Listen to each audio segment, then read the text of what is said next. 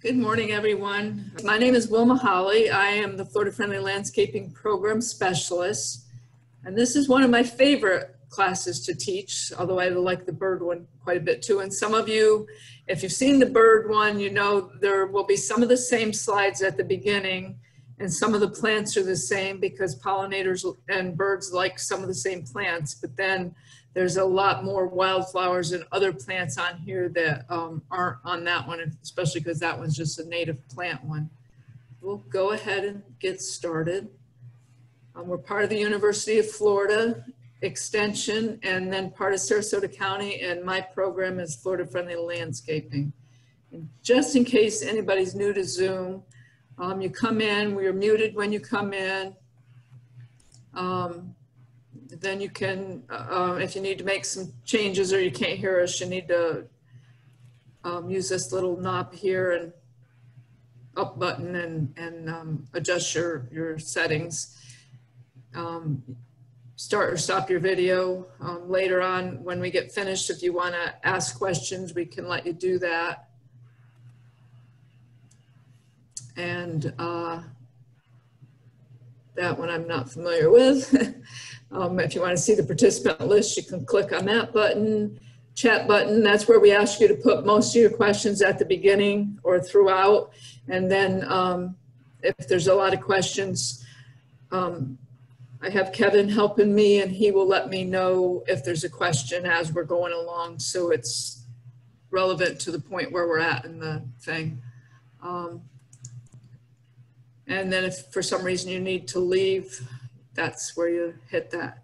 And the, um, we are recording this, so we'll send you the loop, or we'll, I'll send the whole participant list since some people couldn't make it.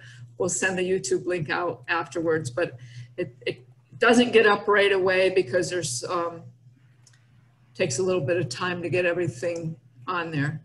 Um, so Extension is a partnership between Sarasota County, the University of Florida, and the Department of Agriculture, USDA. Um, the university does the research and they have the resources and then we reach out to people, our residents and our professionals, decision makers to help people make better choices in their life and have a better future. Um, there's, we have a lot of initiatives going on, classes and outreach and volunteer opportunities. We have the Master Gardener program. Um, and these are all of what our extension office has. A couple of them, the chemicals in the environment, which is really chemicals not in the environment because she tries to keep them out, teach people better ways through um, integrated pest management to, to use less chemicals. But um, and also waste reduction is one that's not in all the counties, but hopefully eventually those two are very, very important. They will be, but I'm under the residential horticulture program, um, Florida Friendly Landscaping, and then we have commercial horticulture for the landscapers, things like that. 4-H and youth development. I don't know if all of any of you were in 4-H when you were younger. I was, and um, I didn't know extension and all that was connected, and a lot of people still don't. So, um, a lot of good programs that we have, and these are some of the things that each of those programs does. Um, Florida microplastic, microplastic awareness, Master Naturalists, Master Gardeners, um, Center for Landscape Conservation and Ecology, Florida Waters, Energy Upgrades, Sustainable Communities, Green Business. Our waste reduction um, guy does that. And then we have Family Nutrition Program and Family Consumer Sciences. So a lot going on out of our office. So the Florida Friendly Landscaping Program has these nine principles. And with um, plants to attract pollinators, we're basically concerned with attracting wildlife because pollinators and butterflies and birds and those kinds of things are all wildlife.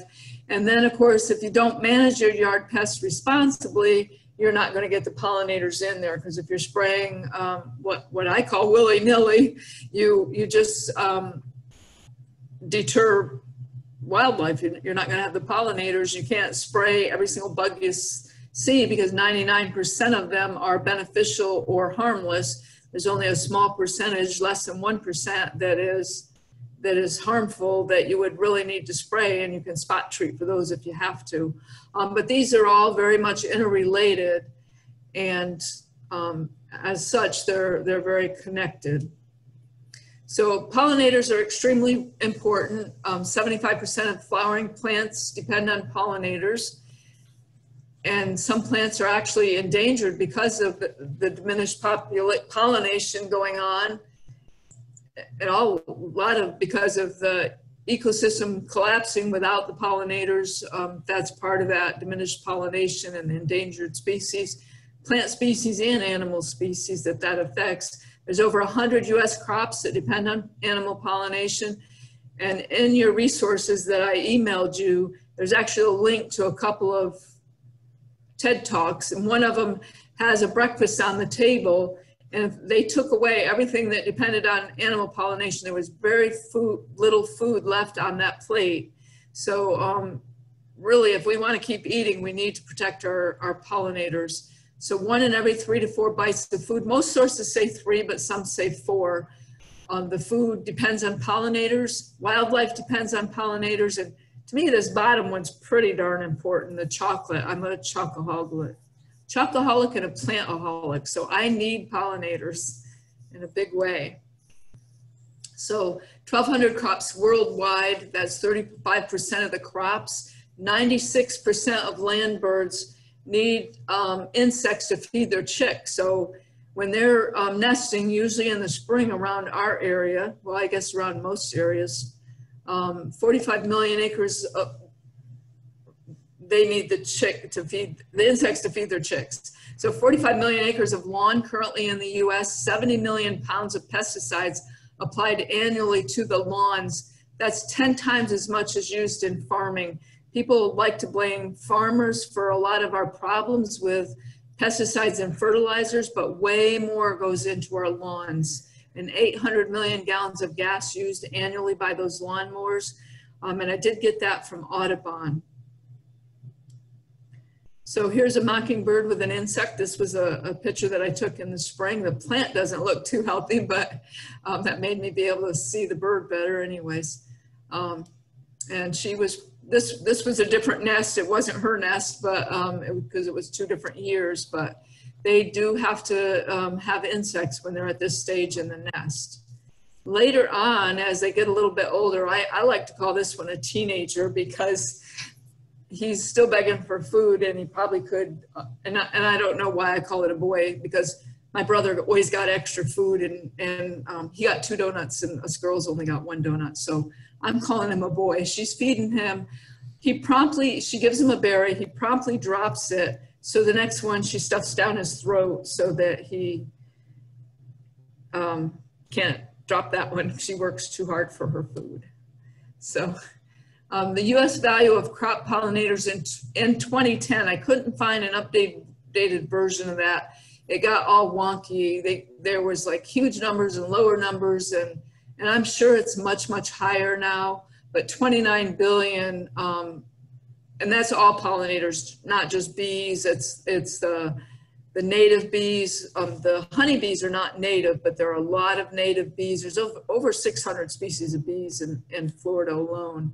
But if we could um, market pollinators as a public company, it would be worth between, this is in the global marketplace, between 235 billion and 577 billion worth. So that's, that's a pretty huge amount um, contribution by pollinators. So some of the pollinators that we're going to be talking about um, today, bees and wasps, beetles, butterflies, moths, and skippers, which are kind of all they, they're all Lepidoptera and they all are very similar in their needs. It's just that moths are more, more out at night, but not all of them. And, and butterflies and skippers more usually in the daytime. And skippers are actually called butterflies as well. Bats, flies, and birds. Actually, we're talking more about plants, but this is just some of what you would see in your garden. Over 20,000 species of bees in the world 4,000 in North America, only 300 in Florida. I, I thought somewhere I had seen um, a higher number than that. And that varies depending on who's doing the research too. But hummingbirds are the most common one.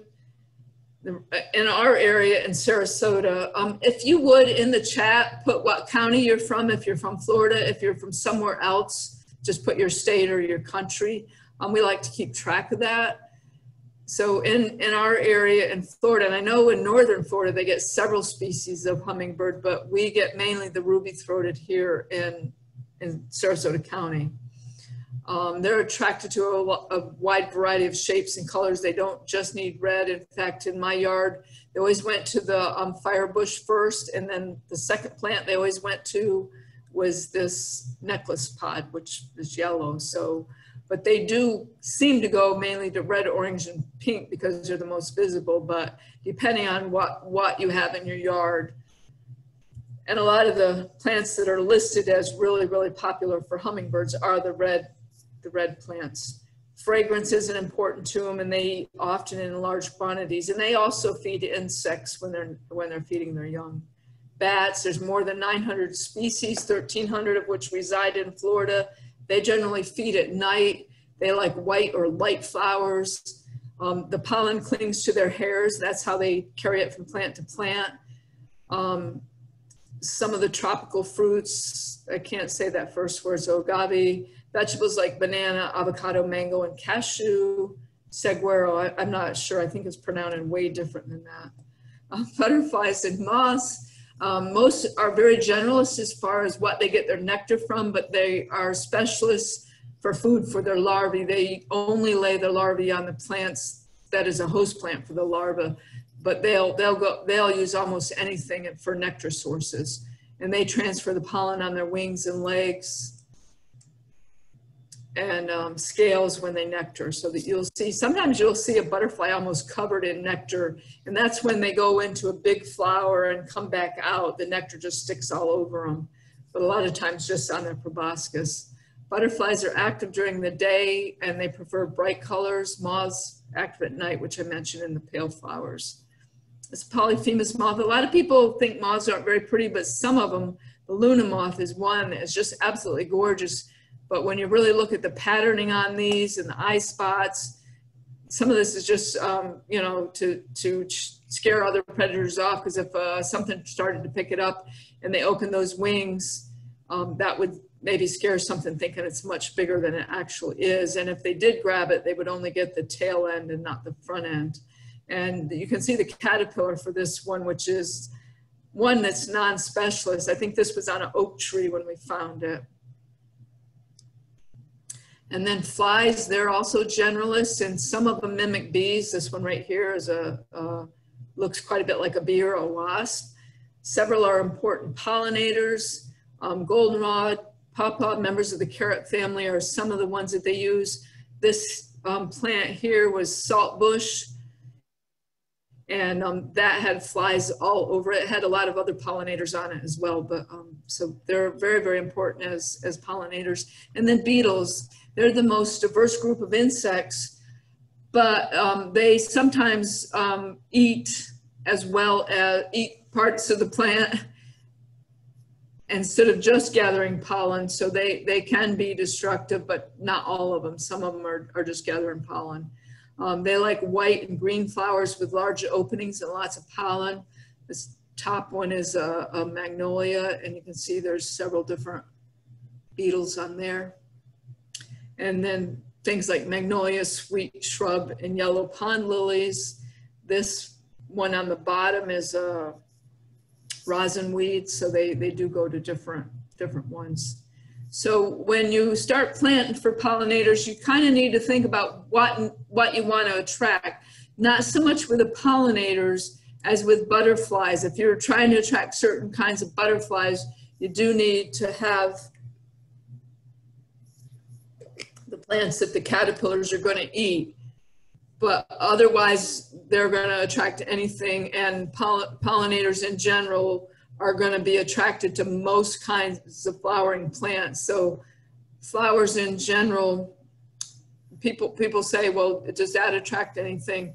And yeah, most flowers are going to attract some kind of pollinator because that's part of the life cycle of flowers is to attract pollinators. So different stages have different needs. This, this um, is a Gulf fritillary here on the right, and that's a Gulf fritillary caterpillar. And of course, down here on the bottom on the left is a monarch, and those are monarch caterpillars.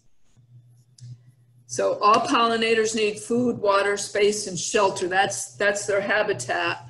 And animals, pollinators um, will only reside or forage in an area that contains enough of these essential elements so that they can maintain their daily activities. They will go through pollinators, butterflies, they'll go through an area, but if it doesn't have the food or the shelter that they need to maintain, they're not going to stay there for very long. So the object with planting for pollinators is to have enough in your yard where you also have some shelter, you have space, you have a water source for them, and, and of course the flowers, which would be the food. Because you want them to stay in your yard. So one of the biggest food considerations is reduction of the use of pesticide. Eliminate it entirely if possible. You Sometimes there's a little bit of spot treating that might be um, needing doing. Like in my yard, I do occasionally more on the house. I spray wasps because I have a tendency to get stung. And um, going in and out of the garage, they, they like to build uh, on the um, rail that where things open up. And um, if I don't know they're there and I'm going through, I, I get stung and I swell up so bad that I, I, I spray those. Um, but you also need volume and dependability of the food. You need a year-round supply because they don't all go dormant in the winter. The, the some plants go dormant and some insects um, hibernate, but a lot of them are out year-round in our area of Florida. There's other areas where you don't have to have a year-round supply because you don't have the pollinators active in the winter but but here in South Central Florida, we do need a year-round supply. But taste and palatability, usually they'll find something they like. That that is, um, you'll see certain plants that they just absolutely go hog wild over, and other ones you don't see that many on. So if you're saying, well, I don't have room for anything, and you've got a plant that they're not crazy about, then maybe get rid of that that plant and plant something that they are crazy about. I've got a couple plants in my yard right now that I'll probably get rid of eventually. Um, so you need the nectar for flowering plants and then you need the host plants for the larval if you're doing butterflies. So a little bit about um, the pesticides. The label is the law. If you do have to spray anything, residues can stay in the yard. You want to spot treat very, very carefully. Um, and, and the thing is, you non-target species can be affected. I, I like to show this picture because this reminds me of me when I was little. I was cute back then. Um, non-target species, that's a non-target species. That is not something that that person that sprang, probably her father, meant to, to, to get in there, but there could be pesticides on that ball. But the same with, with um, ladybugs and, and insects that you want in your yard you don't know what you're hitting. So if you're trying to have pollinators in your yard, pesticides is the last thing you want. I go to, on site visits um, to homeowners associations and places, and they say, "Well, how come we don't see any birds anymore?" I said, "Because you're spraying all the time, and you don't have any insects, and they have to have insects."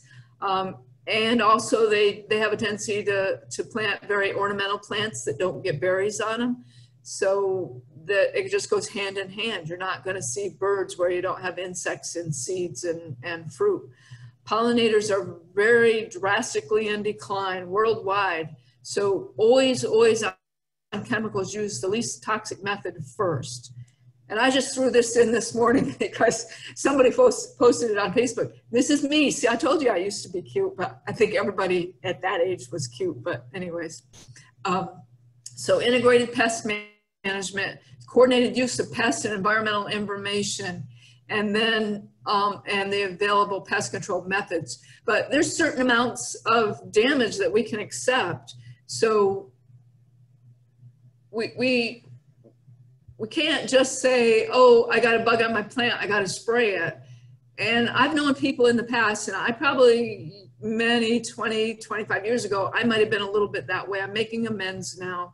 Um, you, you just don't spray everything you see because there are so many beneficial insects out there that you would just be destroying everything.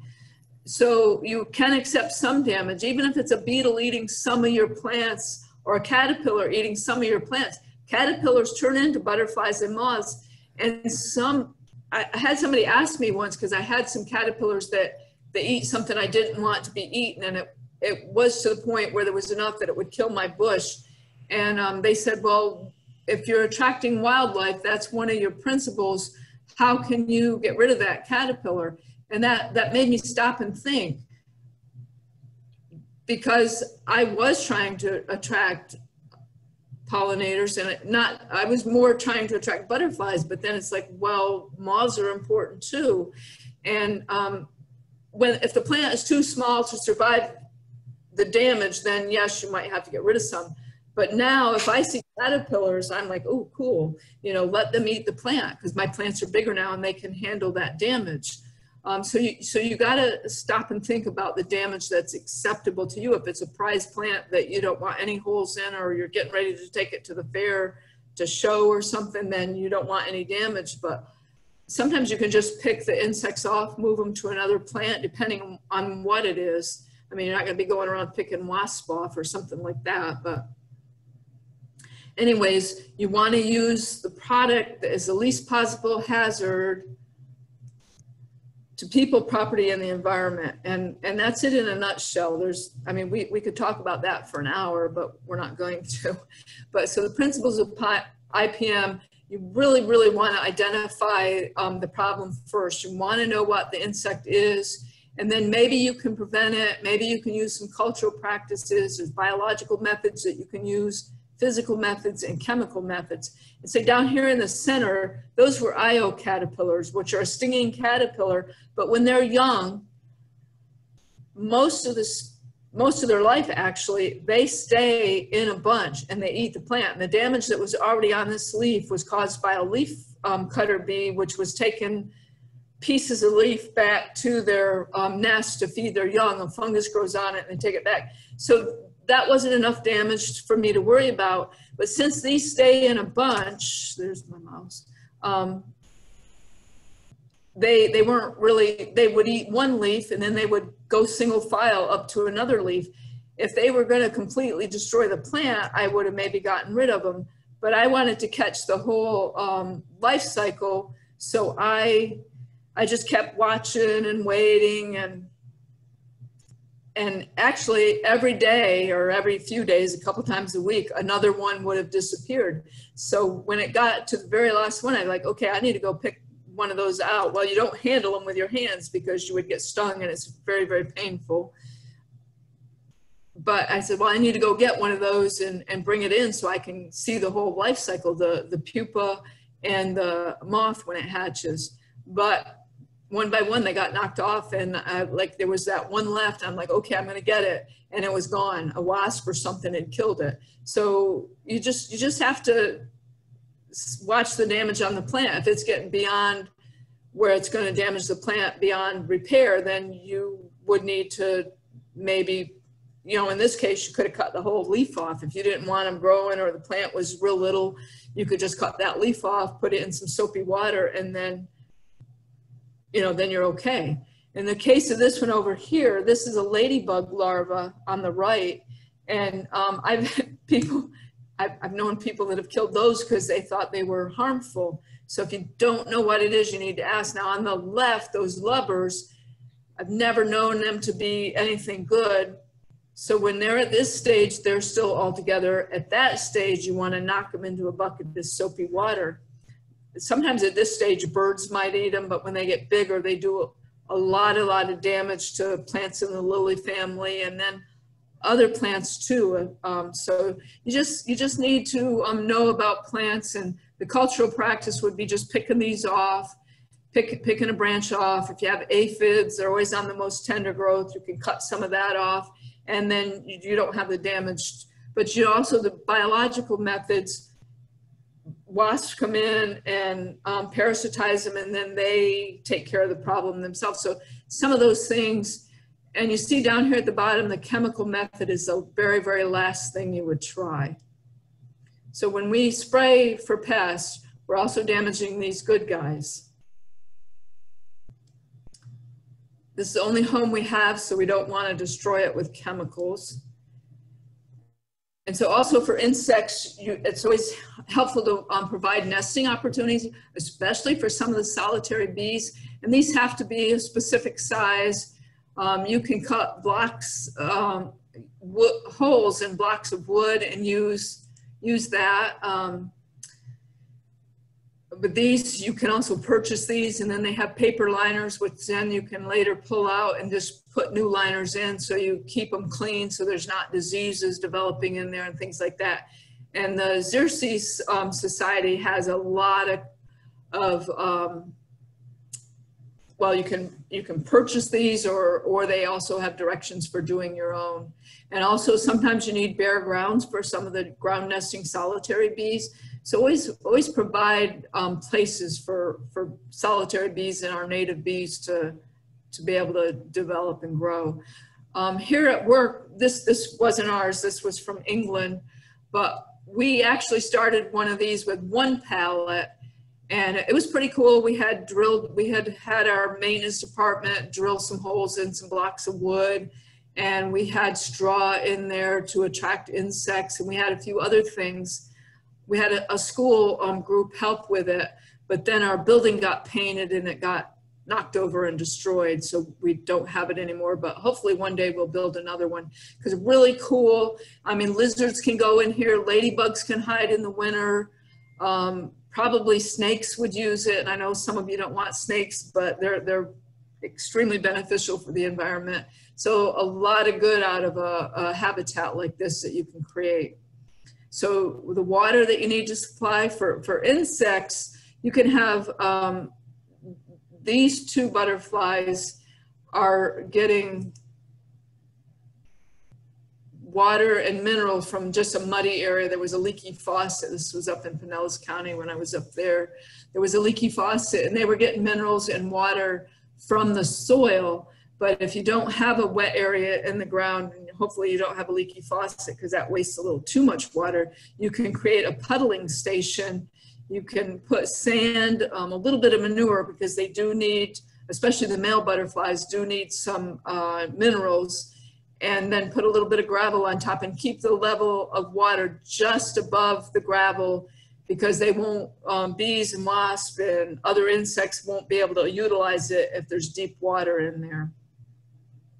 I always bring it clear up to the top so they can use the top to stand on and they still get, and then some of the um, pieces that I have are sticking up above the, the level. And I see um, different insects using that. So Florida native plants versus non-native plants. Um, if a plant is beneficial to your habitat and and has some really good benefits to it for insects, doesn't really matter if it's native or non-native. I have a tendency to lean towards native because I do notice in my yard that the insects go to my native plants first.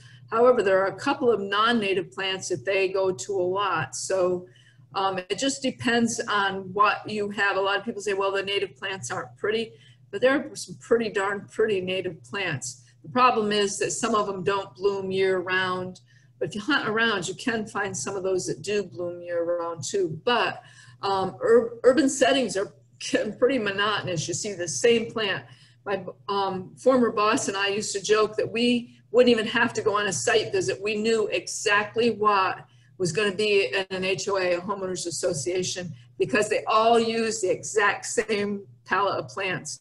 Um, arboricola, you know, Indian hawthorn. There were very few different species of plants.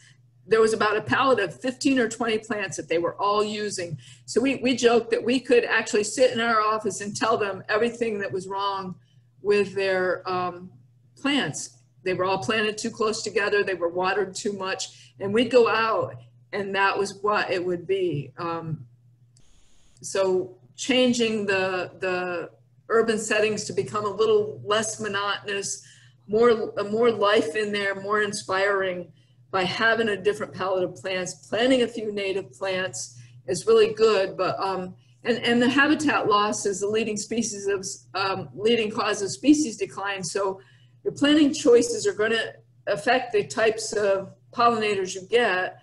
And they've evolved through time with native plants. It's not to say they won't go to non-native, but a lot of times they go to the native plants first.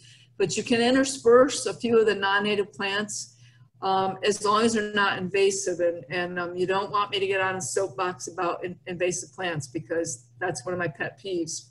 But um, the plants should have exceptional qualities. If there's nothing about them, and yes, I do, I said, I'm a plant addict, so I have some plants in my yard that, that don't have um, pollinator much happening with them. Those are the plants that I will get rid of first as I choose other native plants or choose other really good pollinator plants. If, if the plants that I have aren't working, then I will eventually get rid of those. But for now, I'm, I'm, I'm happy with them, but I will eventually change that. We have to create a habitat. We can't just attract pollinators. And it's most easily done with native plants, but if you put a native plant in a non-native conditions, if you don't supply the right soil and things like that, the right light for it, it it's actually acting like a non-native plant anyway. So you need to be careful with that. Our our um, urban settings that are built up, there's soil brought in, there's sand, there's gravel, there's there's all kinds of stuff that really is hard to make a native habitat out of it. So now we're going to get into the plants, which is probably what you're here for. Um, we have the, um, I, I, just want to show you this book. Um, if you're in Sarasota County or one of the Southwest Florida water management districts, um, if you're in that district, it's about 16, 14 or 16 counties, you can actually order one of these from the Southwest Florida Water Management District. In Sarasota County, you can come to our office and pick one up but you can also go online at that link, which I believe is in your list that I handed out to you. But I just want to show you this a little bit because um, it, it can tell you a real lot about plants. It's not 100% accurate. There's a few mistakes in it, but I always recommend looking at two or three sources when you're looking up at plants because there's a lot of variation in um, websites. And they, they tried to be really, really correct, but there's still some mistakes. But anyway, the key's on page 31. But as you go through this, it, it starts with large trees, small trees, large shrubs, small shrubs. And then it goes into um, flowers and um, wildflowers, perennials, a lot of different annuals, ground covers. So, but the key's on page 31. So just take this plant up here, um, camellia. Um, it grows in the north and the central part of the state. Down here at the bottom, um, second from the right, there's one that needs a south and, and actually the one on the right needs a south too. But it tells you, so what part of the state, what zone you're in on, on um, page 31, it'll tell you what zone you're in if you're not familiar with that. But um, it tells you how much water, what pH, what uh, the rate of growth, how high and wide it gets. There's quite a bit of variation in those. Um, and then the pH and um, some of these I'm not really super familiar with, even though I've used the book for years, ever since it came out in 2010. Um, and then this blue box will be around what kind of sunlight it wants the most. This part, this particular one is partial shade. So um, if it's around, you've got one down here on the right, on the bottom right that wants full sun, and then I don't see any that want full shade. But anyway, what I really like about this book um, for attracting pollinators the butterfly, well, it attracts butterflies, but if it attracts butterflies, it's going to attract pollinators as well. And then whether it attracts hummingbirds or songbirds. Um, and it has salt tolerance and, and quite a few other things in there, how much water it needs, things like that. But so very, very good information on that. Um, so good, good to know. And you, you can download that if you're not in one of the counties where you can get it for free. So some of the plants I've started pretty much with the larger plants, the trees. This one is one that you need to be really careful of if you have kids around because it does get these wicked recurved thorns. If you accidentally um, get into the thorns, you can't just pull out because they're curved. So you kind of have to do a wiggle dance to get out of there. Um, full to partial sun, salt and drought tolerant. It gets up to about 25 feet. Um, it gets this, this is the larval host of the giant swallowtail caterpillar. And this is what the caterpillar looks like. It's sometimes called um, the bird dropping caterpillar because it looks a lot like bird dropping, especially when it's younger. Um, and this is the buds on it. So these open up into little tiny flowers, which you can't even hardly tell if they're open or not. You have to kind of get a magnifying glass. It is a male and a female, and apparently mine is a, a male because I've never gotten any wild limes on it. They're real tiny, um, look like a tiny berry. But any of your citrus trees are the host to that that particular butterfly. So if you have a key lime or an orange or anything, some of um, with the citrus greening, I wouldn't recommend going out and buying a citrus tree at this point. I would wait until there's some kind of treatment for the citrus greening. But if you have one in your yard, you may see some of those caterpillars on it. Um, so it's a really good host and a pollinator plant as well. So Florida privet, it's a shrub that gets up to about 10 feet, full to partial sun. Um, actually, I think the ones on our campus here at Sarasota County Extension are up, are probably more like 12 feet, so it can get a little bit bigger. It's a, a pretty fast grower, drought and salt tolerant. It's, it's not listed as a pollinator attractor because it's blooming in January and we don't have a, as many pollinators around in January. So it's, it's not listed even for butterflies, but when nothing else is blooming, the butterflies, the pollinators, they go to it. And it attracts, um, so it does attract pollinators at that time of year in, in the warmer areas. Dense cover and fruit that attracts birds and it's good for nesting because it is so dense. This is up at the Florida Botanical Gardens in um, Largo. And you can see how small those flowers are. See how big the bee is. It's completely, you can't even see the flower on it. Um, so it's, it's not the biggest part of growing it. The biggest part is just to have an informal hedge. They usually, at the time when I was working up there, they would let it grow to about 10 feet and then they would trim it down to about six feet and um, kind of keep it a little bit informal so birds and everything could hide in there.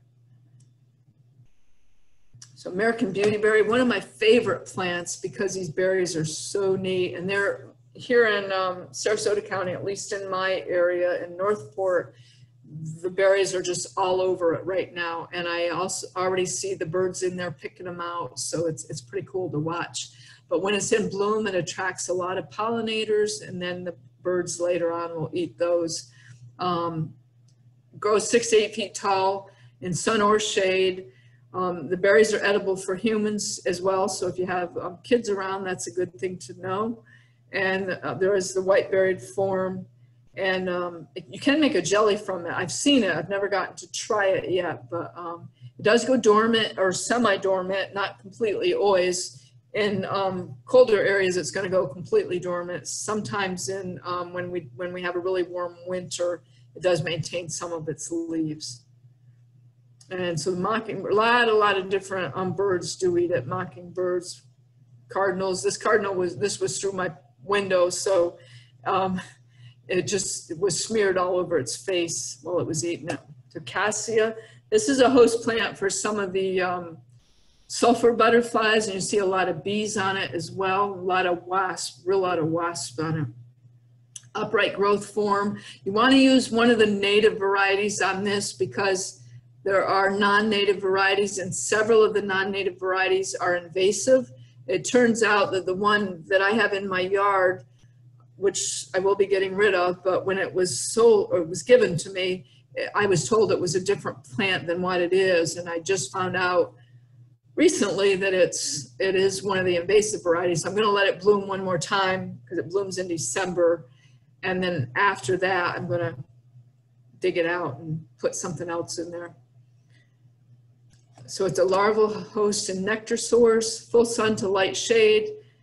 Um, and like I said, some of the non-natives are invasive. And th those two, the Chapmani and the um, Ligustrina, those are, one is about three foot tall and one gets about six feet tall.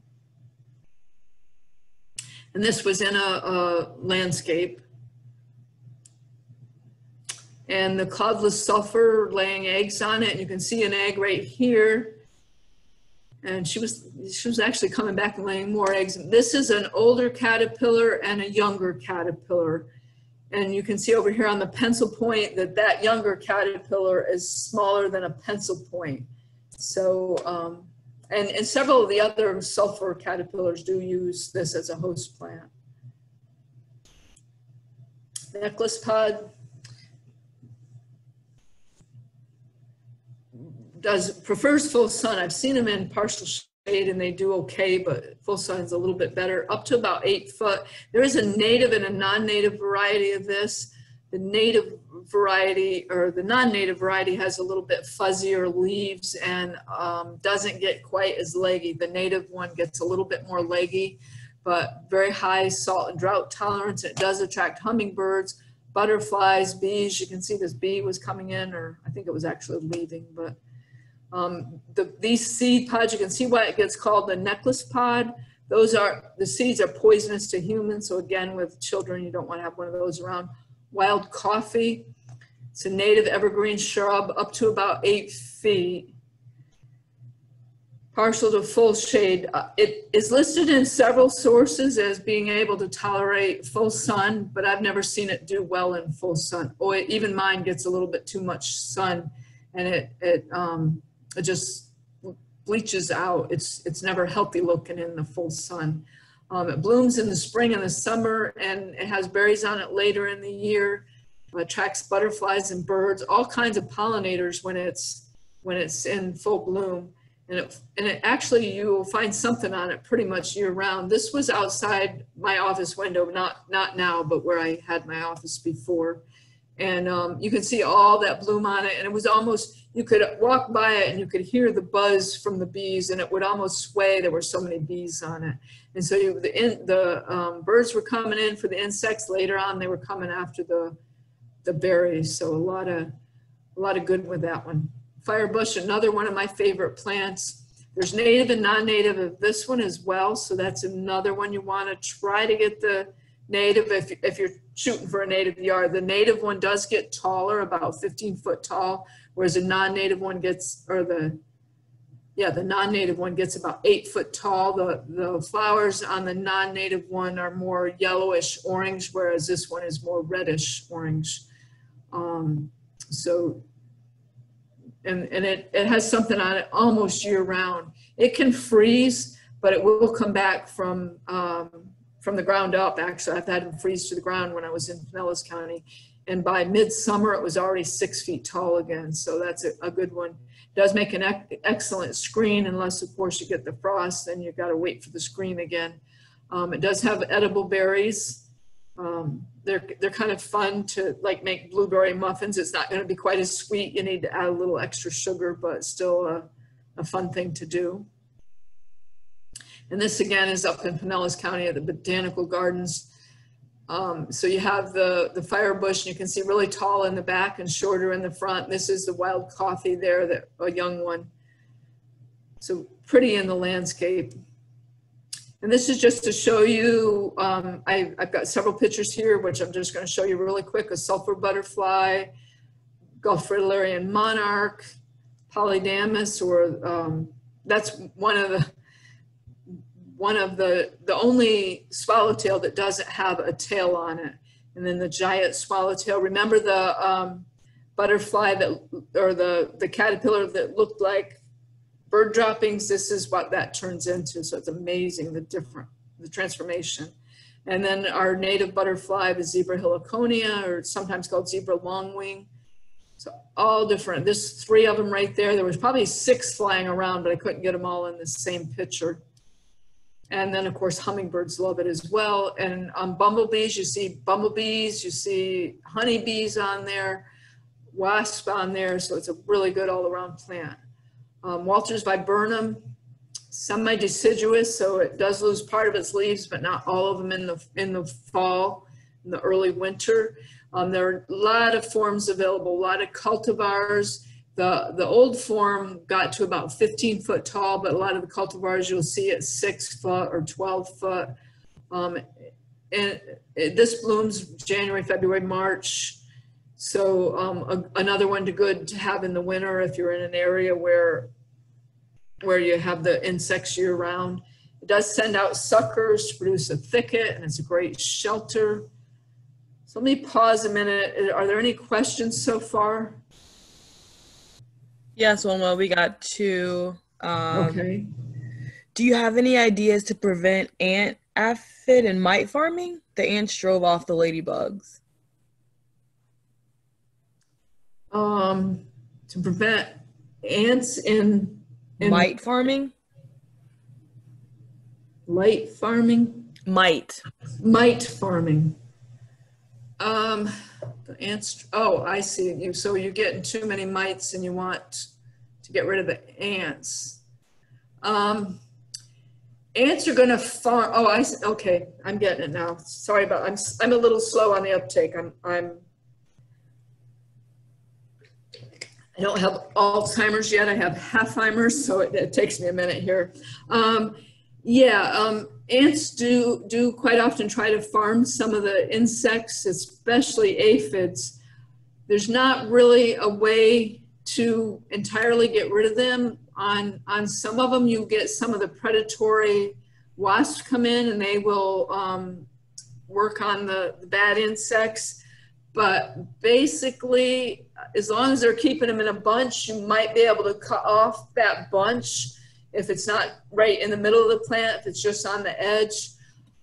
Otherwise, other than going out there and, and um, picking a few off, um, I really don't know of a way to prevent that without spraying because you don't want to spray when you're trying to get the ladybugs. But I don't think they'll entirely um, drive them off because I've had plants that I've had ants farming the insects and eventually the insects disappeared and I saw ladybugs there. So I don't think it will entirely drive them off. It might might inhibit them some, but they're they're going to come back. Okay, there's another one. It says so if a plant says zone 11, does that mean it won't survive in zone 9? Yes and no.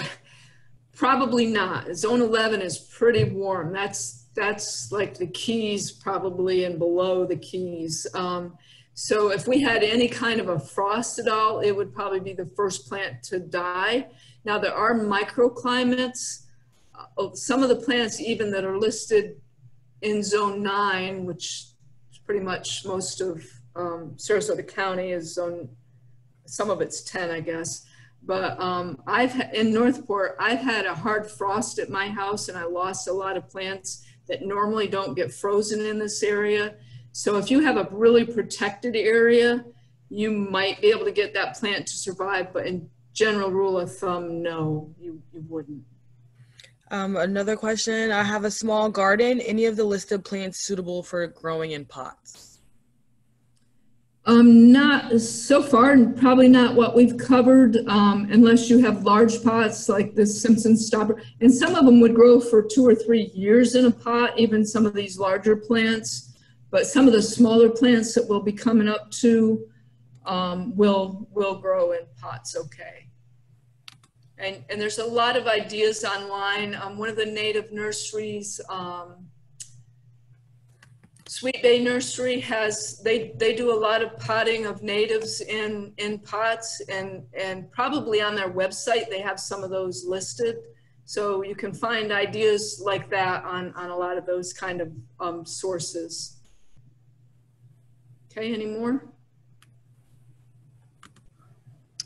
Um, yes, I have a red and black ant infestation Sunday morning on the ground on the north side. So bad I could only stomp my feet to keep them away from crawling on me.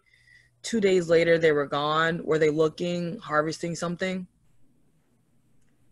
Um, I, I'm not really big on the insects. I don't know the insects as well. That would be um, a question for Carol Wyatt Evans, our um, entomologist, or she will be an entomologist. She's studying for it.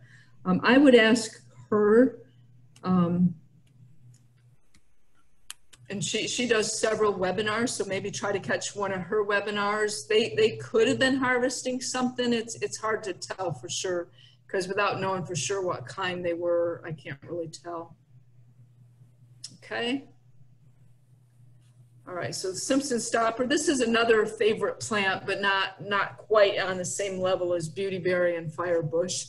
Um, it is native, and I think all the, the first plants that I go through are all native. I, um, save the other ones for later because there's some other really cool plants, but I try to encourage people to plant as many natives as they can. And then if, if you got some other plants, so I, I do the natives first. Um, in case I run out of time and I don't have time for the other ones, but, um, the flowers to this attract the pollinators. And you, do see these white flowers are gorgeous and you'll see the whole plant covered in flowers. But you can see here where there's very, very young berries, there's fully ripe berries and there's some in between. So it does get some bloom different times during the year, but the biggest time of the bloom is in the spring, probably around April. Um, so they're gonna attract the pollinators when the birds are nesting and then later on the birds are gonna come in and eat the berries and you can use it as a single stem or a multi-stem shrub. It's a little bit, seems to me to be slow growing. I, I haven't found mine to be very fast growing. It's highly valued for wildlife. And the berries are edible for people as well, but they're, um, they're a little bit spicy. I don't particularly like them. I'd rather leave them for the birds, but, um, a good all around plant. Um, it, and as it gets older, the bark peels off the stem. So that's another, another good, nice thing about it. So Flatwoods plum. Um, this one blooms in the spring. The red admiral is in our area in the spring. This was probably like an April picture, and then they migrate, so we don't see them for the rest of the summer. So this, you know, again, some of those plants that you want some spring bloomers, so you can get, have something for the pollinators that are here then. Very attractive to the butterflies, also to a lot of the different bees and whatnot. Marlberry, this is a really gorgeous plant, um, up to about 20 feet. It says it tolerates both shade and sunny location. Mine doesn't do too well in the sun. Um, it gets sun part of the year quite a bit and it always um, fades out a lot. It's not as pretty. Um, it has edible small blackberries. It's adaptable to formal landscapes, which means it can be trimmed. I don't like to see things trimmed square or round. I don't think that's natural at all. But if you have to have some plants like that, then, then this one will take that. Although you would lose some of the flowers and some of the berries off of it. So you're using the value as a wildlife plant. Um, and this is it in a landscape. You can see this is an informal landscape. Very, very pretty button bush. This wants to grow in a, a, really wet area. So if, if you only have dry areas in your yard, this is not one that you're going to use. But it's a pollinator magnet when it's blooming. It unfortunately only blooms for about a month out of the year.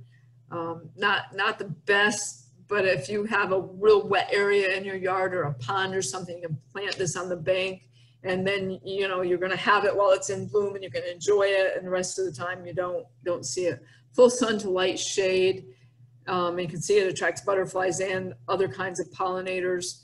And this is it in an informal landscape. Again, I, a lot of my pictures, this was up at the Botanical Gardens up in um, Largo. I worked up there for a number of years before I moved to um, um, Sarasota County. So some of the pictures are from there. Oh, uh, there was something I was going to mention on that. It says it grows five to 20 feet. That's, that's a huge difference. And for years, I had never seen one more than eight or 10 feet. Um, but finally, in um, Northport, I finally last summer saw one that was probably close to 20 feet. So they do get taller if they're allowed to grow. And it is deciduous, so it's it's bare a good share of the year. So it's not for everybody, but if you have a wet area, it's a good one to grow. And then we get to the hollies. There's a lot of different species of hollies. Many of them are native. I think the biggest share of them are native. Some might be cultivars, so not considered native. Um, gallberry, Ilex glabra, Dahoon holly here. Um, native shrubs, native trees, they're, they're, both. And most of them can tolerate um, sun or shade. They attract all kinds of pollinators when they're in bloom. You do want to make sure if you want the berries for the birds, you want to make sure you have a female plant. Easiest way is to buy the plant when the berries are on it because otherwise um, you have to get a magnifying glass and look at the flowers and, and um, know how to tell the males and the females apart. Um, salt and drought tolerant for most of them. This one on the left um, was on Venice Beach here in um, Sarasota County. That was several years ago. I'm not sure it's still there, but I hope it's still there. And then this was another one up in Pinellas County, um, an East Palatka holly, which is a really, um, was actually found in East Palatka, Florida. So most of these hollies are also cold tolerant, which is, is really good. Um, sweet acacia, which they changed the name, the Latin name a, a few years ago, so now it's Vachellia Farnesiana. I can't pronounce all the Latin names, but um, anyways, um, this gets these really cute flowers. There's also a perfume that's made out of this. But um, what I think is really cool, and, and obviously this thorn bug is a pest, but whenever I wanted to find a thorn bug, I could always go to that plant and, and when I was working at a school and I could find a few. If they get really, really bad, you would have to um, cut off an area or knock them into some soapy water or something. Um, they, they could kill something this small. So, because they make the, the females, which are these ones on the top, the males are there on the bottom. And then this is a young one, kind of a, again, my teenager term for, for a partially growing one. Um, they, they make a slit in the bark, lay their eggs in there, and then the whole family helps guard those eggs. The young ones, the old ones, the males, the females, they all stay there around, so they're always there in a bunch. But if you have several females making slits and laying eggs, it can kill the plant. So what I, I had a plant that they were all over, and um, it was getting to the point where it was getting pretty dangerous. So what I did was cut one branch off where they were a whole bunch of them and got rid of some. There was always a few still on the plant, but not enough to endanger the plant after that.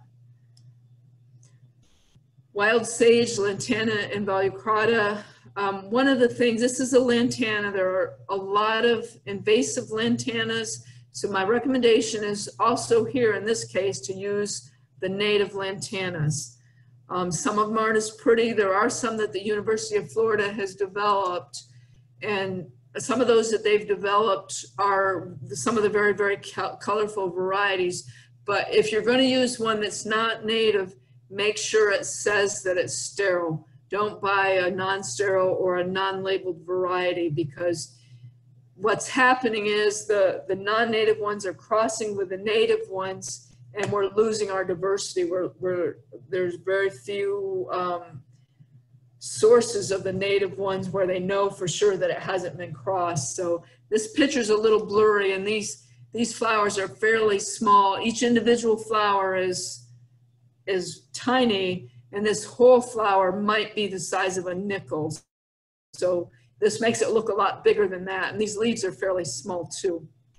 It does bloom all year. Mine, I have never seen it without a bloom on it. It might get a little bit thin late in the winter, but it's always had some flowers on it. And mine is um, actually about probably six feet tall. It's listed as um, getting about four feet tall, but it does get taller. The starry rosin weed. This is a really cool. Um, I hate when they put weed in the name of a plant because it's a really, really cool plant. It it starts out, you think it's scraggly, you say, oh, I don't like this plant. It's just three feet tall and it's got five flowers on it. But you trim it back a little bit and it forces it to bush out a little bit more. And then eventually you get um, the one in the center was about four foot wide, four foot tall, four foot all the way around, um, and just gorgeous. And then you start getting, um, it might get a little scraggly where some seed heads are on it and maybe you don't want more seeds. You can take the seed heads and sprinkle them around it and make a bigger bunch. But you can then just cut those back a little bit. Take a third of the plant at a time, cut it back. And then um, a couple months later, that section will be blooming again. Then you take another third of the plant, cut that section back. And then you always have a beautiful plant if you don't like the way it starts looking as it gets older. And it attracts um, butterflies, it attracts pollinators, all kinds of bees very, very cool. Um, all kinds of, mm, I think this is an Newman wasp, but I'm not hundred percent good with my pollinators. Um, but just getting the pollen out of there you wouldn't want to get stung by that, that's for sure. It looks, looks like it would not be fun, but I've never seen one of them come after anybody. I'm around them all the time, taking pictures. I get close to them and I've never, never had a problem with one of those. Spotted bee balm, horsemint, Monarda punctata, should be just coming into bloom now in, at least in Sarasota County. I think people in Pinellas County that I've, I've seen on Facebook, um, they've had theirs blooming already a little while. Mine, um, got trimmed back, so I don't know if it would have been blooming or not.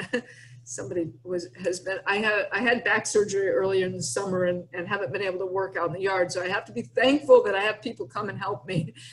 Isn't it a little extra helpful? Um, this one needs well-drained soil. You don't actually want to water it at all in the spring or the summer. I suppose in a severe drought, but even then it's, it probably wouldn't die. I watered mine a little bit too much um, during one of the droughts and it got really tall and lanky. I didn't water it this spring in the drought, but um, so it wasn't quite as tall and lanky, but it was falling over because it's, it's in a, a partially shaded area and it wants full sun. So you definitely want it in full sun and you do not want to water it once it's established because otherwise it just, it falls over. But it's beautiful when it blooms and you can see in the lower picture there on the right that there's a couple different pollinators in there. And that's one where when I'm trying to get pictures of different pollinators, I can go out when that's in blue bum, full bloom and get tons of pictures of pollinators just on that one plant. And goldenrod's another one that's the same thing. Um, it gets blamed for a lot of the allergies that are really caused by ragweed because they're blooming at the same time. Um, wants full sun. There's, there's several different varieties, some that only grow about two feet, and some that grow about six foot. Some are more of a ground cover, some are very upright, all kinds of pollinators. It's, it's like a magnet to pollinators. And most of them bloom in the fall, although I have seen some that have been blooming for two or three months during the summer. And this is some of the pollinators, which I don't know what they all are, bees and flies and wasps and need to ask Carol what that one is. I keep forgetting. And this is in a landscape. This is here at our extension office. Most of it's been cut down because people didn't like it, I guess. But there's, there's still some of it there, so we'll still have some bloom. Most of the goldenrods do spread a little bit too much. They're, they're very prolific. So you do have to cut some of it back if you have a small area you can't just let it take over and that be the only thing that's there. So that's that's something to be wary of with goldenrods. They they spread like crazy. Um, this is ironweed. I love ironweed. It's well, I guess I must love purple because I seem to like some of those plants. Um, there's a giant ironweed, um, and then there's a narrow-leafed ironweed, and then um, there's several others, but those are the two that I'm most familiar with. The other ones um, one of the guys that lives up in Holiday um, posts pictures on the native plant website. And um, he has some of the other ones like New England ironweed and several others, but they, they're just beautiful and they attract all kinds of butterflies, all kinds of pollinators. Mine got gets about seven feet tall. Um, and usually they need a little bit of staking because they like to fall over a little bit. So, and then we come to the milkweeds. Now, there's, there's a lot of um, controversy over milkweeds. The, the native milkweeds, there's no controversy. It's the non-native ones that, that have the controversy. And um, the native ones are harder to find, they're harder to grow. So I do use some of the non-native ones. A couple years ago, I bought several of the non-native ones or the native ones. And um, I I don't have any one of them right now, so I'm going to try again. But meanwhile, I do have some of the non-native ones there. Um, but if you can and and you um, manage to keep them alive, most of the native ones go dormant. And in our area, in Sarasota County, anyways, our butterflies, our monarch butterflies, don't migrate. So we have butterflies year round. So we need some um, milkweed for them in the winter as well. Now, if we happen to have a really cold winter, they probably would migrate, or then unfortunately we would lose some of the caterpillars. But this is the non-native one, and it's used a lot. And I this this picture of the hummingbird was through my kitchen window. I didn't even know um, that it attracted hummingbirds.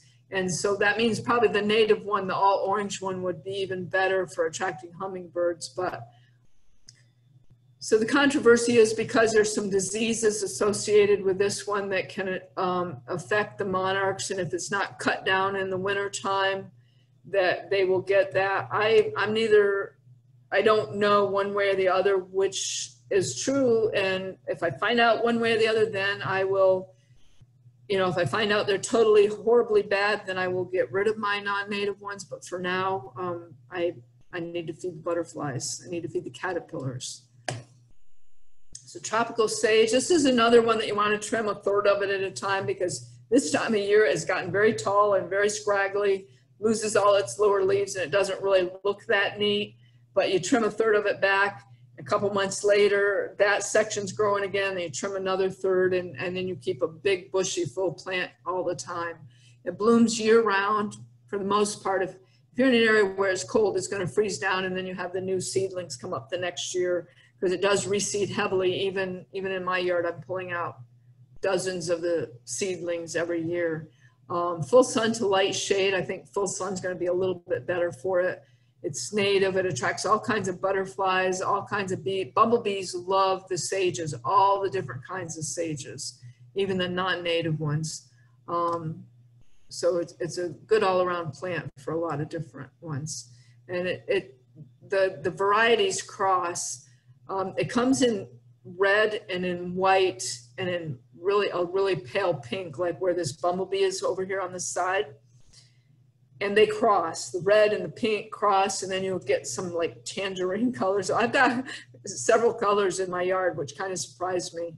But um, and some of these bees, this one is not actually helpful as a pollinator because it's stilling the nectar. It's drilling a hole in the, the lower edge of the flower or up towards the corolla and, and stealing nectar.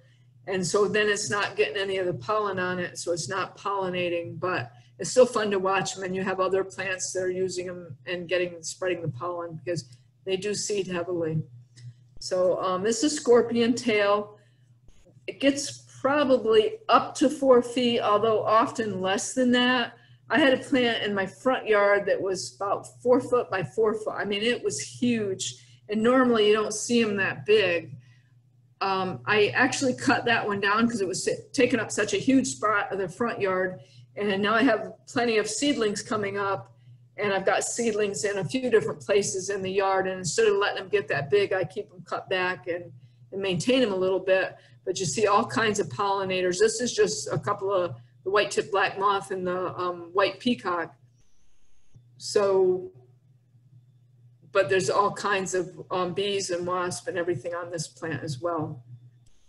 And the smaller, smaller butterflies, smaller flowers attract more of the smaller butterflies generally. You don't, you're not going to see the big butterfly. Occasionally you might see a big butterfly on it, but mostly the smaller ones.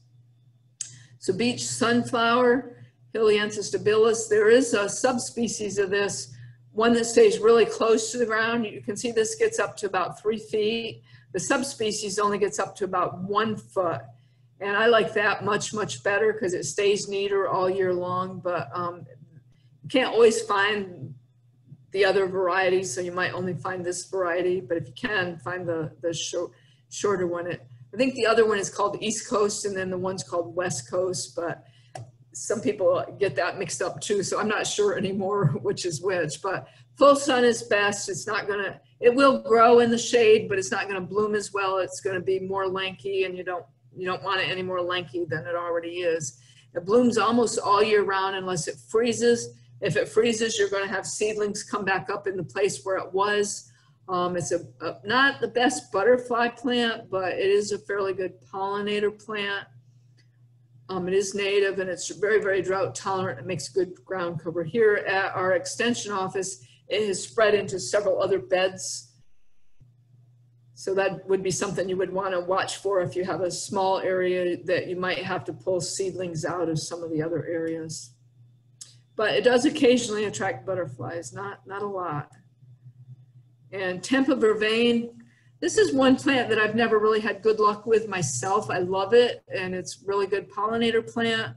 Um, it seems to have a tendency to get spider mites on it, but that, that usually in drier areas that that's gonna happen. Um, but it, it's such a nice little small plant, only maybe a foot tall, maybe 18 inches. Um, and it, it's a nice mounding plant. And I think it's supposed to be perennial, but I think if you treat it as an annual and um, replace it every year, it's, it's probably a little bit easier to maintain. I, I might get them to live for a couple of years, but never usually longer than that. And now I'm probably on the southern end of where it'll grow anyway. Partridge pea, another plant that probably only gets about two and a half feet, um, maybe three. But it's all, most of the sulfurs like it. They use it as a native plant. And in my yard, I bought plants two different times and couldn't get them to survive. I planted some seeds and they came up, but I didn't get it to survive. And it might have been the area I put it in because all around me in the woods and the edge of the, the well, more the edge of the road because it does need sun. So along the edge, I see them growing all over the place. Um, so maybe I watered it too much, I'm not sure, but I am gonna try it again because it's a really cool, small plant. When you run out of room for big plants, you're looking for smaller plants again. This one is very weedy, but it attracts pollinators like crazy. So if you look in this picture, if you can follow my mouse, there's a pollinator there, there's one here. Of course, there's one coming in there, there's one here, there's one there. And I think there were a couple more on it, but that's all you could really see in that picture. So um, it grows in wet areas again. It will, it will um, grow in drier areas too. I have coming up in my potted plants a lot. Um, I always let one or two grow. I don't let all of them grow, but it's such a good plant. And then and another, it's another one you can, once it starts getting all this turning brown and, and at the, yeah, like you can see my hand, right? When this starts turning brown and it gets really weedy looking, I cut that off and then it sends up new shoots again. And then you've got a nice new bushy plant again. Um, but I wouldn't let every single plant that grows um, come up because otherwise then you would have it running over your area. It does like moist areas the best. It will grow in dry areas, but moisture is what it likes. Um, it is called rosy camphor weed. Um, if you, if you don't like smelly plants, you might not want this plant. To me, it stinks, but I don't, I don't go around petting it, so I have to smell it. Some of my plants I do. If I like the smell of something, I'll go and rub my hand over it so I can smell it. This is one I don't touch if I can help it. But A a really good pollinator plant. So blanket flower, um, blanket flower is a really cool plant. It, it blooms like crazy when it comes up. I made the mistake last summer. I, I thought, well, the, no- none of the seeds are coming up. So I spread the seeds from the plants that I had all over the place. And then I had plants all over the place. I mean, I had this huge area, which was okay because at the time I wasn't able to get out in the yard and, and do anything. But um, next year, I am not going to let every single plant grow because there's too many of them and I want other plants to put in there, but it, it does, it, it can make a big area. It can fill in a whole area like that. And you do get different butterflies on it. Um, and, and a lot of um, bees, there's several kinds of the native bees that get on it as well. Not, not the huge ones usually, but other ones. Um, false rosemary, Conradina. This gets, this wasn't all in the same picture, I, um, but in about a half an hour, I got all these different pollinators on this, this plant. So smaller butterflies and then wasps and bees and flies and the big bees, several different ones. It's native and it, it- blooms um, the biggest share of the year. It kind of, um, sometimes it'll start falling over and get real lanky. So then I just trim it back a little bit and then new growth comes up in the center and you have a nice full compact plant that way. Coral honeysuckle, full to partial sun. That's a good thing about this one is because you can have it, some people actually allow it to grow up through their trees so they can um, have the, you know, have some support for it. I've seen people grow it on the ground, so it was like a ground cover. Um, generally, a trellis is probably the best because you want the hummingbirds to be able to get to it. Um, and it's very, very winter hardy. So if you get a frost and like say your firebush blooms, you want something for the um, hummingbirds to have when they migrate through in the spring. In our area, they're migrating through probably in March, sometimes April. And then they migrate back through in the fall about starting in late August through September and October. So yeah, a couple different times of the years where you can see um, hummingbirds quite a bit. And it's actually still blooming now, my plant is, but having it blooming in the spring when they're coming through, because some of the other flowers aren't blooming yet then, so that's, that's a good thing to have.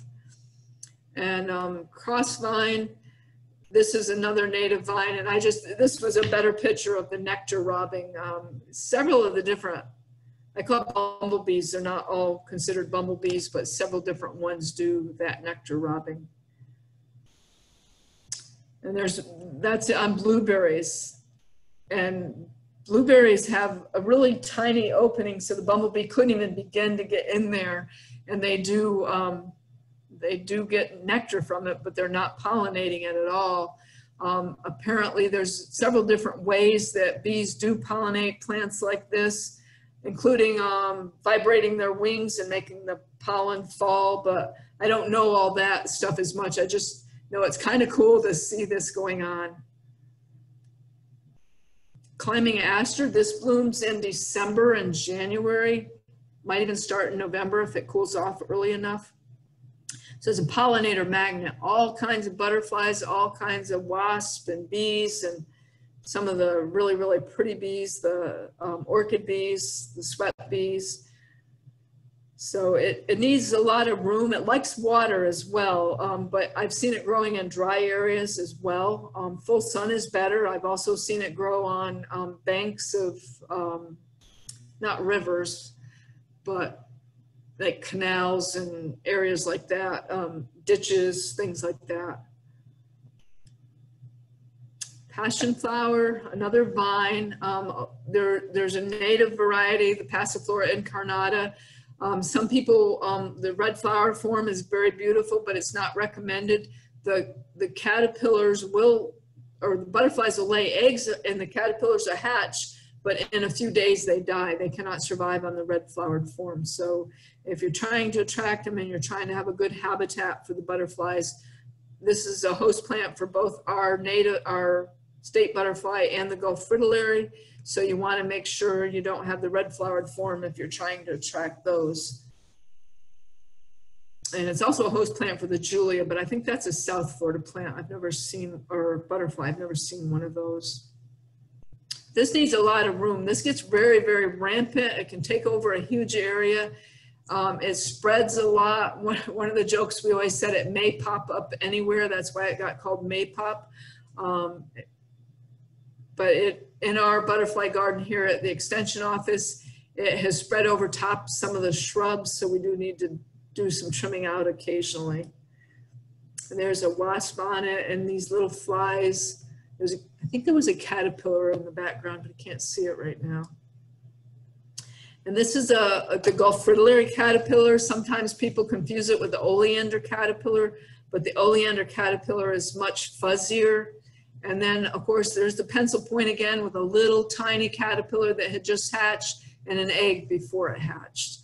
The eggs turn darker just before they hatch, and then after they've hatched, usually the um, caterpillar eats, most kinds of caterpillars eat, eat the empty um, egg shell. It gives it some nutrients, but they're very pale. Um, you wouldn't see all that color in it if it, if it hadn't eaten it yet. Okay, blue porterweed. Um, there's native and non-native of this, and the non-native one is invasive. So this is another one that you want to make sure you get the native variety. They stay closer to the ground. I was doing a yard recognition for a group once, and they they had the upright ones, and they said, well, they attract hummingbirds. And I said, well, there's enough other plants that attract hummingbirds. I can't give you the recognition with this plant in your in your garden. Um, so I don't know if they ever got rid of it. They never did call me back. So, um, and, and probably the hummingbird would still go to the, the lower growing one, but they had all kinds of hummingbird plants in there So they wouldn't have needed to have th- that as a hummingbird plant. Um, the native one is very prostrate growing, probably gets up to about 18 inches, maybe sometimes two foot, but the, the non-native one is four to five feet and it's very, very aggressive. Um, the flowers open in the morning. By the afternoon, they're closed. So if you're trying to get butterfly pictures, you got to do it in the morning. It likes full sun best. It's going to bloom better in the full sun. It's going to be less leggy. Um, and it is, like I said, this, the smaller one is the native one. And you can see um, it does attract sometimes the bigger butterflies, not usually, the tiny flowers don't usually attract bigger butterflies, but occasionally you do. And then long-tailed skippers. Stokes aster, this is, uh, mine did not survive the winter. I, well, it wasn't actually the winter that killed it. I think I had moles in my property and um, I think they, uh, they tunneled underneath it and it died. And I, I'm on the southern edge of where it grows well, but this, this attracted probably a hundred different pollen. I don't know. I didn't, I couldn't even count them all. There were so many, but it was so fun to watch and take pictures of everything that came to it. And in the, it has a basal rosette of leaves. So it goes semi-dormant in the winter and you'll see that basal rosette just, just, um, you know, very small to the ground. And then it gets a little bit taller in the spring and then it sends up um, stalks of flowers, which maybe are a couple feet tall. Um, this, the really funny one that I really, really enjoyed watching, it attracted this skipper and there was an ambush bug waiting on it. The ambush bug got the skipper and was eating it. They sucked the juice out of it. I mean, nature, you say, oh, poor butterfly. Well, yeah, poor butterfly, but nature is a very intricate web and all this is happening whether we know it or not. And you find out more by being out there watching and seeing what's going on than, than you would by um, sitting in your house watching TV or something. So anyway, it was sucking the juice out of it. And then this wasp came and stole it. It, it took it straight away. The, the ambush bug, well, you know, you're bigger than me. You can have it. He crawled off. But an hour later, the wasp came back to see if it had caught anything else. I just thought that was, uh, that just blew my mind that the wasp actually came back to see if it had gotten anything else. I mean, go get your own food already. And then there's just, just uh, you know, all these butterflies and wasps, the, the um, sweat bee, just, I don't even know the names of all these. It would be fun to find out, but they, it was just a phenomenal. Look at all these different butterflies, this Ichneumon wasp, every single one of these. And then sometimes two or three on a flower at the same time. It was just totally amazing. And this is one of my new favorite plants. Um, it's another, a plant that wants a wet area, so it's not for everybody. I have a swale, so I, I'm able to keep that area wet. In the summer, it stays wet. In the winter, I do water it some. That's the only irrigation that I have is in that swale. So if it dries out, I can I can keep it wet. But um, the whole rest of my yard doesn't get water. Occasionally in a drought, I do have to do. So this needs a wet area, but I love this powder blue color. And these flowers last like for a month. And it just had stalk after stalk after stalk and all kinds of butterflies, not all kinds, but several. And then some different, um, different other kinds of pollinators on it as well and just, um, just a really cool looking plant.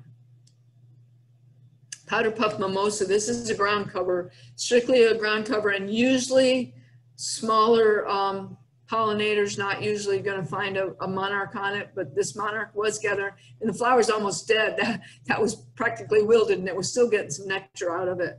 Um, very low growing. It can, uh, it can brown out in the winter in the cold areas. Um, generally comes back. I don't know if it would die like in northern Florida or not. Again, let me just remind you, if you didn't put um, your county or city or state or whatever in, in the um, chat, do that now, please. So just so we can keep track.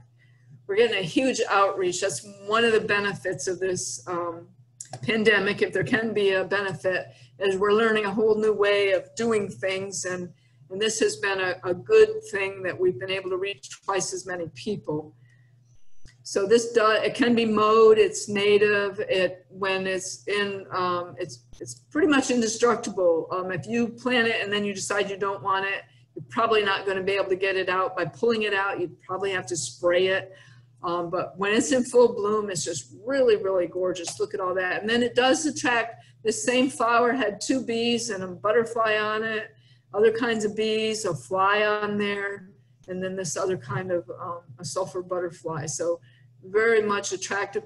Um, and, and then, you know, if, if it's getting a little ratty looking, like uh, these turn brown when they're through blooming and before they die down, if you say, oh, it's getting pretty bad, I got company coming next week, mow it.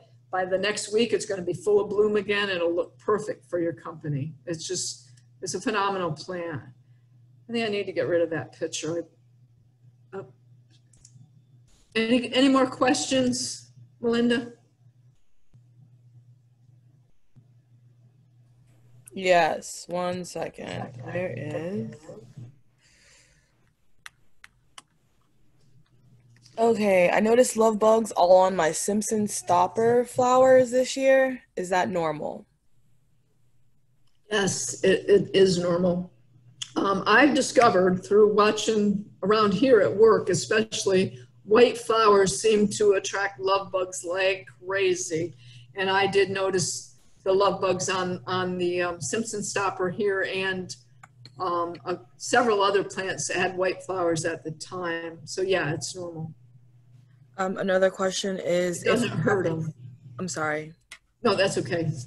If you have existing lantana, how do you tell if it's one of the native ones? There's only two native ones. The, the one that I showed you earlier and then um, a pale yellow. Sometimes it's a darker yellow. Um, if it's sterile, if you're seeing any seeds on it at all, then it's not sterile. So that would be the only way to tell. Um, so sterile or native, there's not, there's not a, there's not a, unfortunately, not a colorful variety in the native ones. So if you want a sterile one to have some of that color, if you see seeds on it, then it's not a good one. Um, that is it. Okay.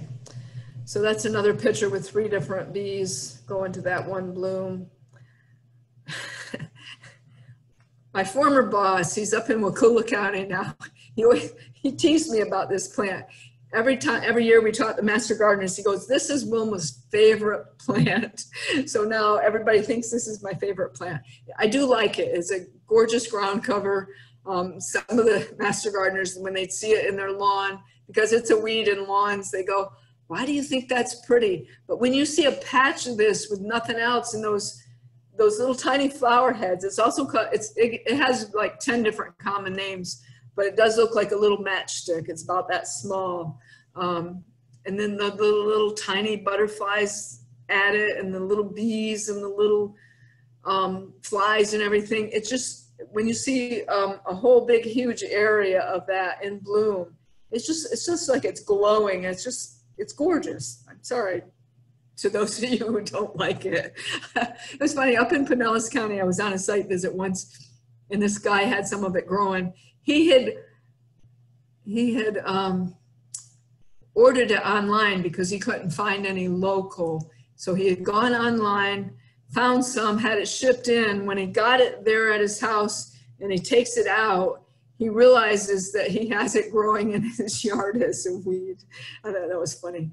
Um, but yeah, it, it is a lawn weed. So if you got to have a, a strict St. Augustine yard and you can't stand some of these beneficial plants growing in there, yeah, you're probably going to want to kill it. But um, a, a good lawn that has some weeds growing in it and some other plants growing in it is going to attract all kinds of pollinators and be much more beneficial to the environment than a lawn that you're constantly spraying and fertilizing and damaging the environment with.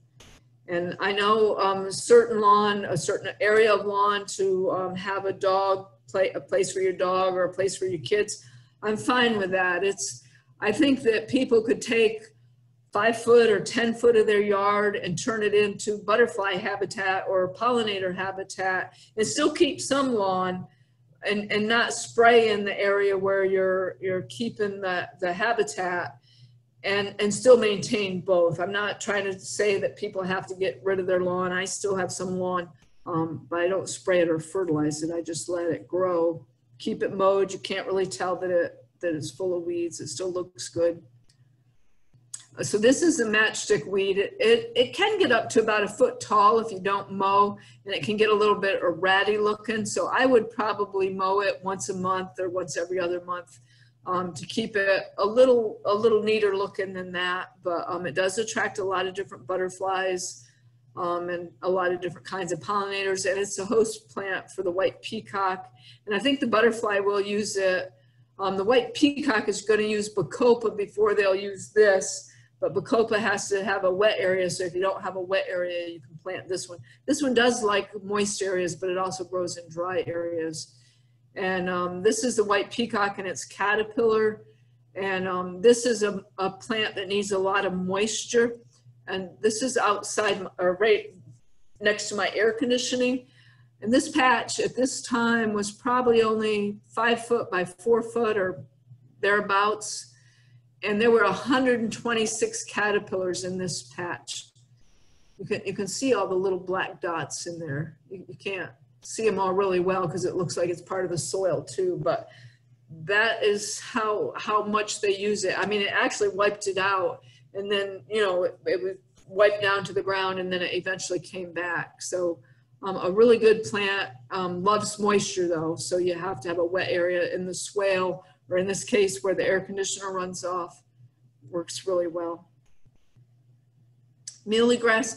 Now, some of the muhly grasses, people don't think they're much um, for pollinators, but this plant is in bloom. That is bloom on the plant. And um, the pollinators use it, but then they also like to hide on it in the winter. They'll overwinter in it sometimes. When people cut it down and make those little boot scrapers where it's only a foot tall or something, that, that's really detrimental because the birds like to eat the seeds once it, you, know, after it's this color, then it turns brown. Might not be quite as pretty, but we need to change our perception of what's pretty and not pretty, I think, sometimes. But the birds do eat the seeds, and there's um, winter insects that use it. And then also um, in my yard, they the um, longhorn bees they're not they're a solitary bee but they will group together sometimes in the evening. They roosted on it in the evenings. Um, i mean night after night after night they would come in here and roost on it. And then there were these other kind the scoliid wasp which the scoliid wasp eats grubs in your yard so they're beneficial to have around. And they would roost on a, a few branches and then or a few leaves the other um, the other ones, the longhorn beetle bees, were on a different different part. And then I would sometimes get these Larra wasps, which parasitize mole crickets. So um, in my yard, if I had any mole crickets and grubs, they would have been taken care of. This this was when I was up in Pinellas County. I, I do get some of the same ones on some of the plants I have um, in Sarasota County, but I, I haven't had as big or as nice of a muhly grass yet because it's kind of a little bit too shady where I have it. But um, yeah, you know, you want to have it and leave it over winter so you have some of these things coming in and being able to use it.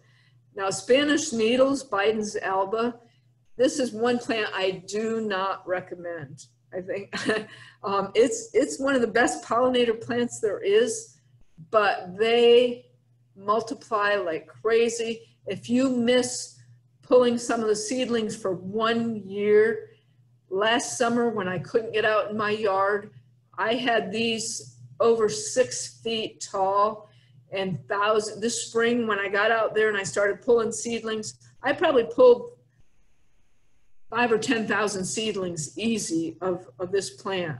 Um, and it's growing all over in ditch rows and in empty lots and woods and neighbors' yards. Let your neighbor have it. Don't you put it in your yard because you will have trouble getting rid of it if it seeds down. Although it does attract the pollinators.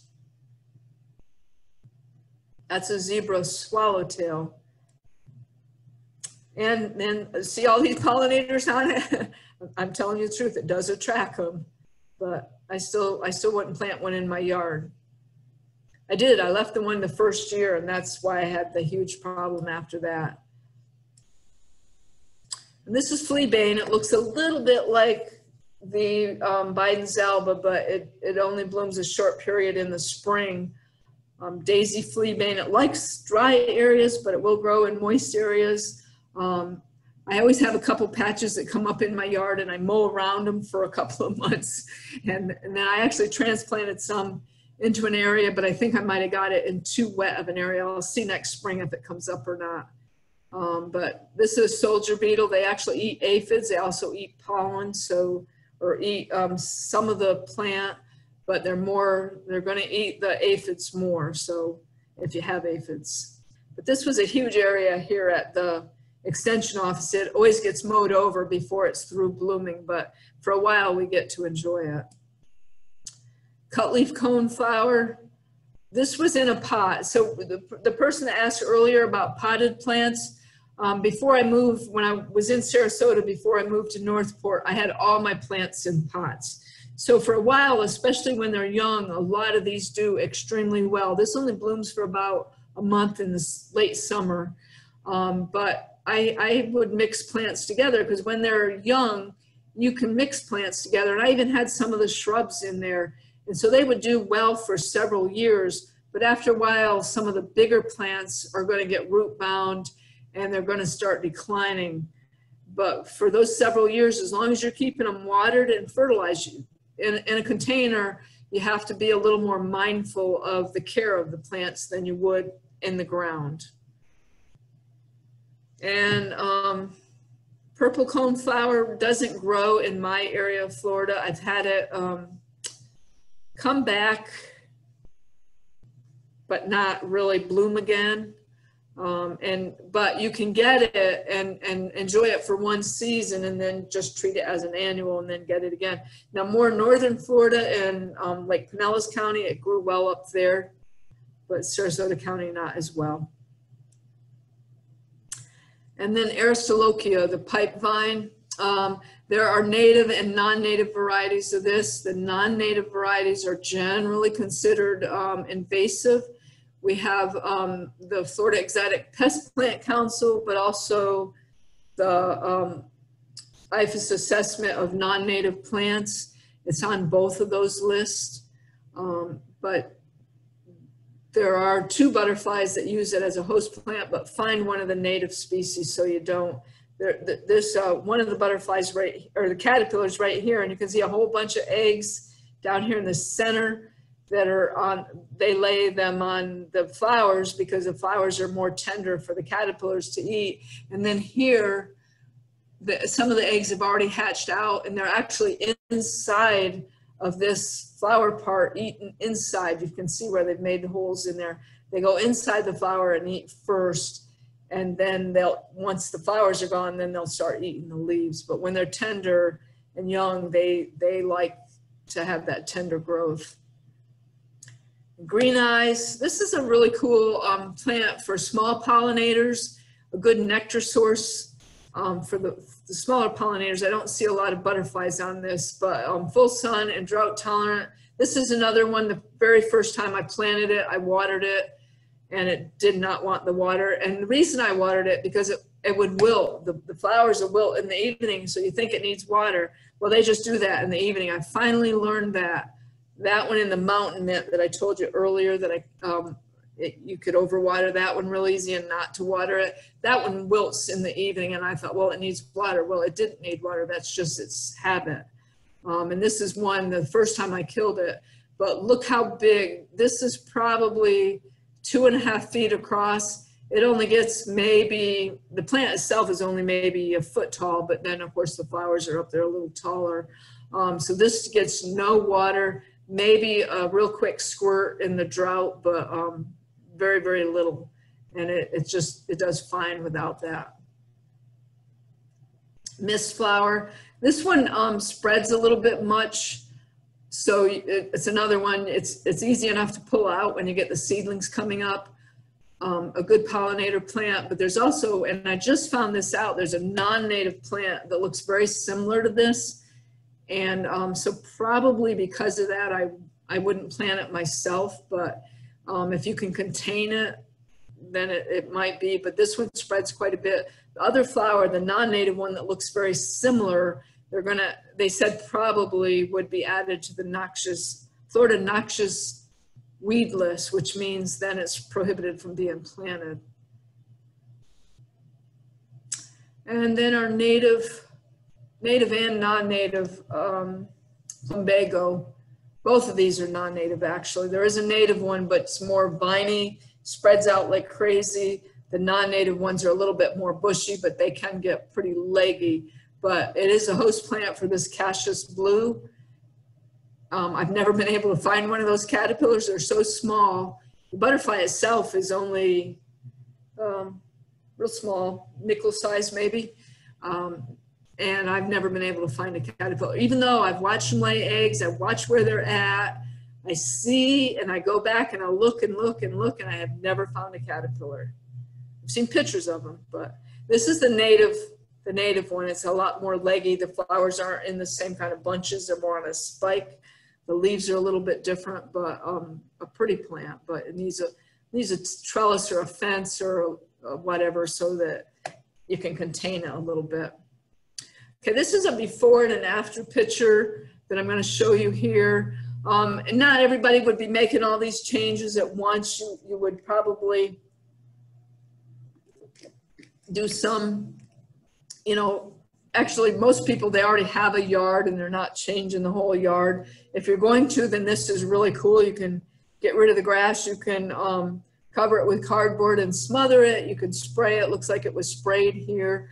But you, you have these older, older hedges up here. They're kind of blocking the house. You can't really see the house as well. So they actually did some drastic changes, put in lower hedges, lower plants that are to stay smaller. I'm not sure, but this looks like um, Walters viburnum here. You have the low growing um, beach sunflower. They put a tree in here. Um, I'm not sure I would have planted that unless it's a real small tree. Um, some native uh, coontie, which is a host plant in South Florida. It's not in our area, but probably a good lot of native plants. Not all of them are native. The agapanthus there, the Nile, lily of the Nile is not native. But you can see that that was a pretty big difference, especially up in the front. And, and you don't want a tree. I mean, you couldn't even look out the window and see anything in your yard with that tree right there. So to make some changes like that, it's kind of nice to have those, um, something that you can enjoy a little bit more. So um, a little bit of, um, this is not me. Um, a couple, uh, some of you have seen my yard before and you know I, I have one of everything because I want to see how they grow. If I have two of something, I'm like, uh, I think I need to get that rid of that one and plant something different because I want to um, be able to tell people about plants. So I have a variety.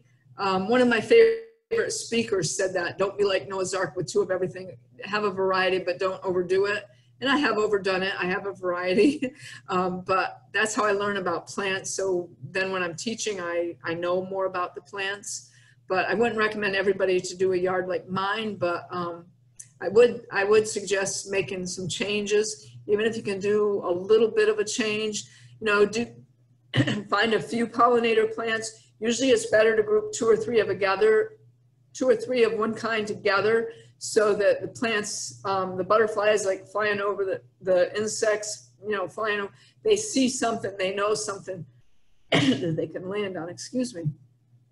Um, but you also want to check your surrounding areas. If you have neighbors that have, like say trees especially, you don't necessarily need to plant a tree in your yard. Maybe plant a few small shrubs. You want an, an, um, a canopy, uh, understory, and a ground cover, but if there's a big, huge canopy in your neighbor's yard, you can have the understory and the, the ground cover and, and kind of combine the uses of the two yards. You're still both going to get a lot of the, the pollinators and the insects that you want. Um, but you also need to remember to account for the mature size of the plants you choose. I studied all my plants before I put them in the books aren't always accurate and um, I have a lot of plants that are too close together. I measured at least eight feet between all my shrubs. Most of them I should have left 10 feet or more, but um, I can do a little bit of pruning and, and um, still have nice plants without having to overdo it.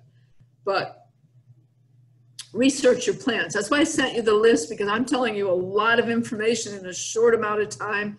And with that list, you've got the Latin name. It's best to look it up by the Latin name because then you know you're getting the exact plant that um, you want. You're not, because sometimes five different plants will have the same common name, but the Latin name, only one plant in the world can have that name. Um, and do some research. Find, you have the, um, the plant book that I told you about earlier, but, but don't just go by that. Go by two or three sources because you get a lot of variety in what they say the, the height of the plant's going to be and the width of the plant, how much water it needs. So I, I research it from several sources and then if I get different answers, I kind of take the average. Um, that, that seems to work pretty well for me, but do research your plants.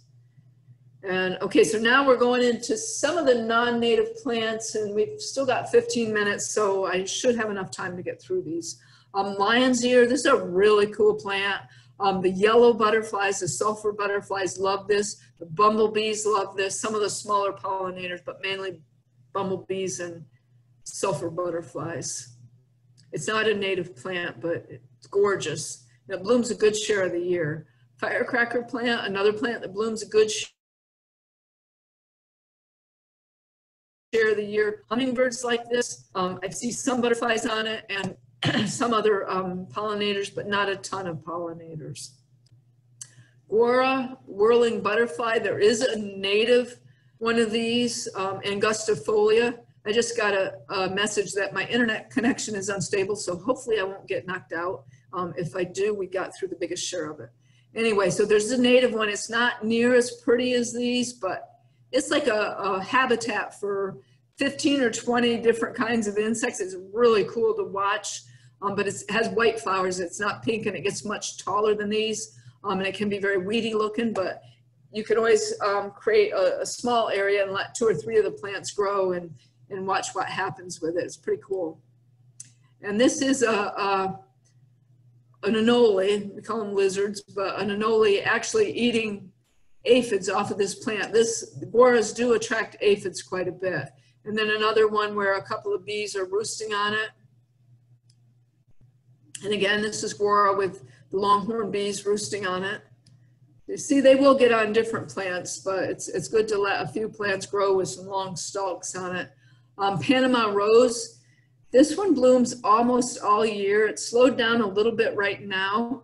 Um, my plant, probably I'll trim it back a little bit because it's getting a little bit big for the area it's in. And then by mid, mid-October, it'll be blooming again and it will bloom.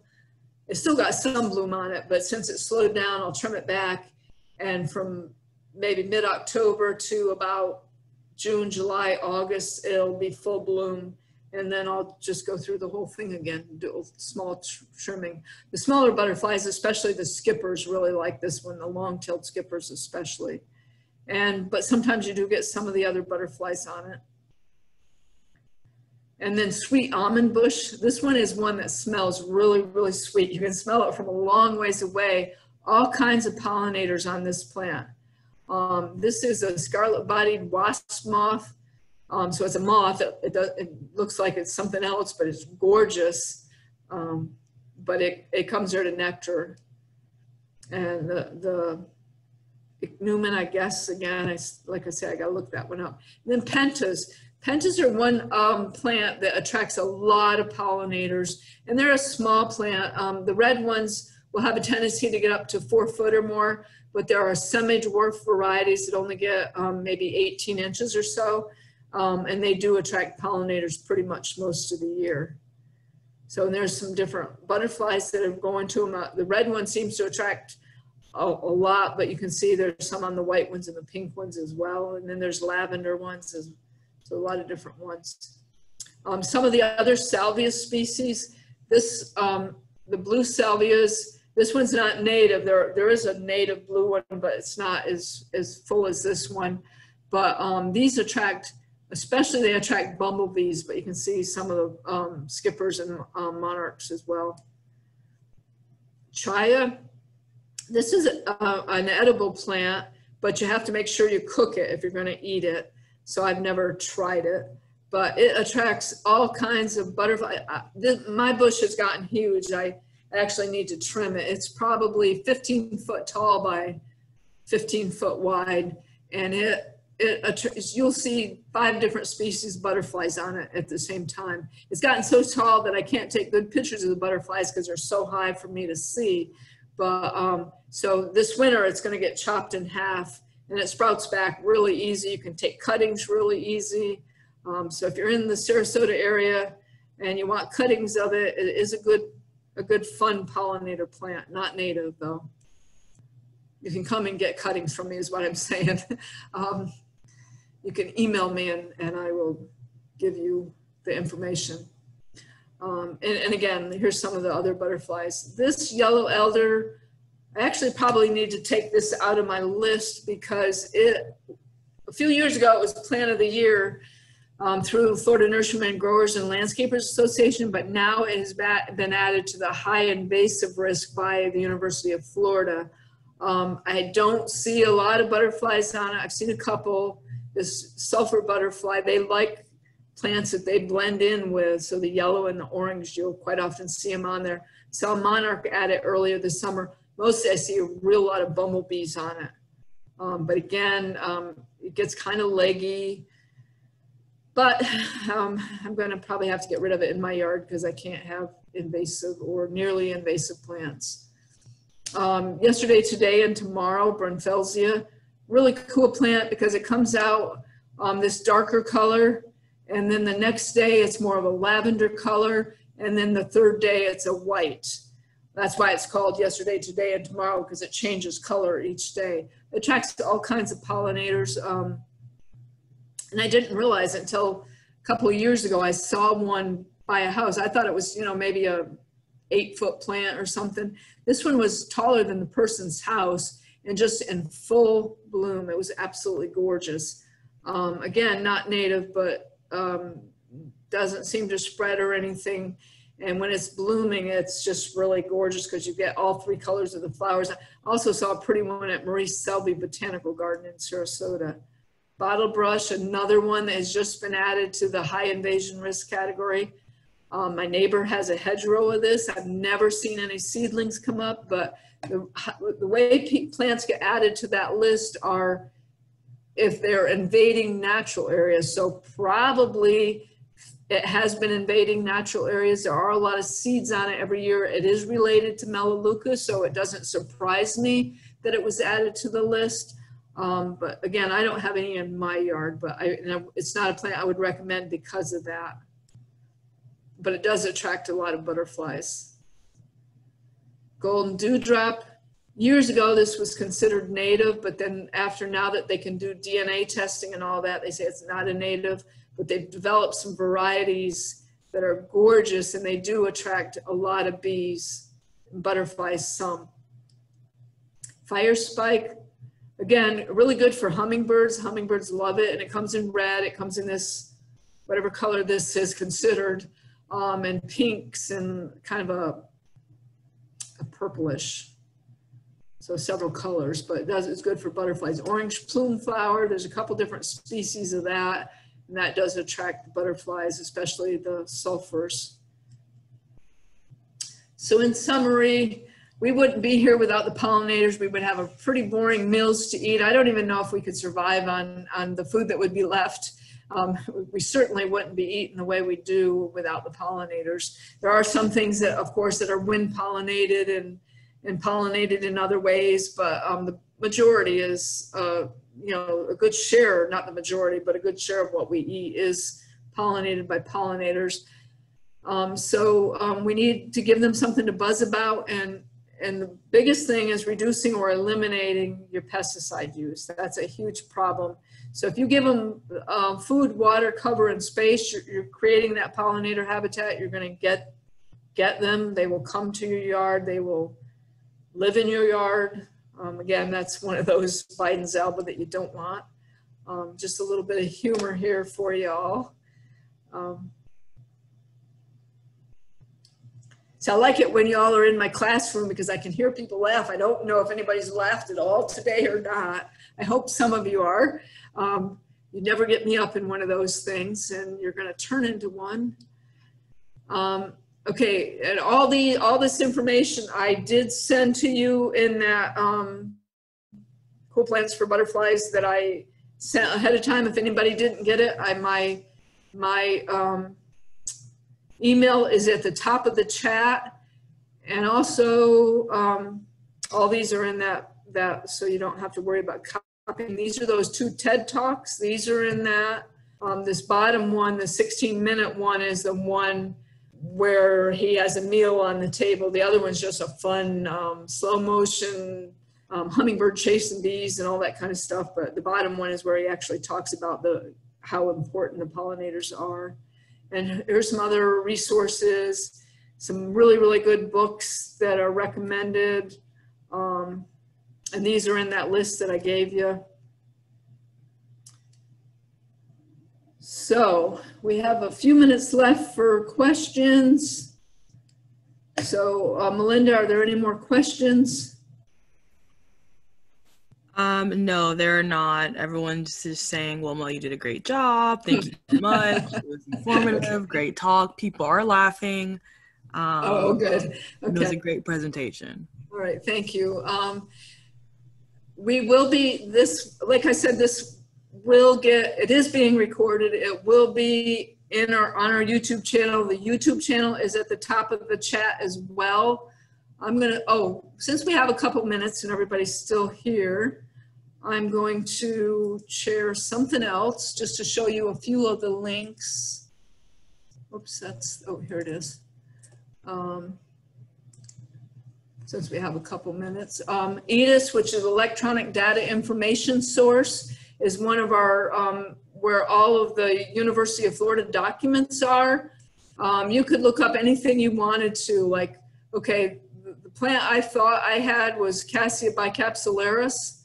It's not that, so if, say I went to that plant, um, and this is the articles, there's seven results for this one. Sometimes you get a hundred different, um, things, but if you go to like, say you click on the Southern Trees fact sheets, there's like 700 and some fact sheets in here. It gives you all the trees that they've ever written an article about. So you can see this is a, an amazing resource, electronic data information system. You can just Google EDIS and then click on electronic data information system, but you have the link there in your handout so you can actually click from that handout.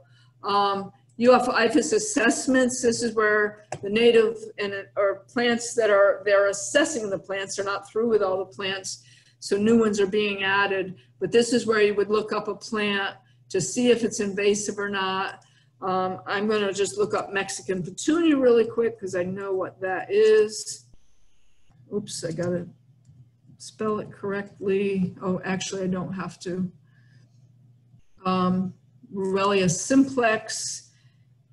And then, so the good thing about that, since they first came out with this, you can just start typing a name and it'll bring up the links. And this is invasive, no uses. There, there are some um, varieties that they've developed that are sterile, so you can use those, but make sure, again, if you buy one of these, that it's a sterile variety because otherwise it'll take over your yard.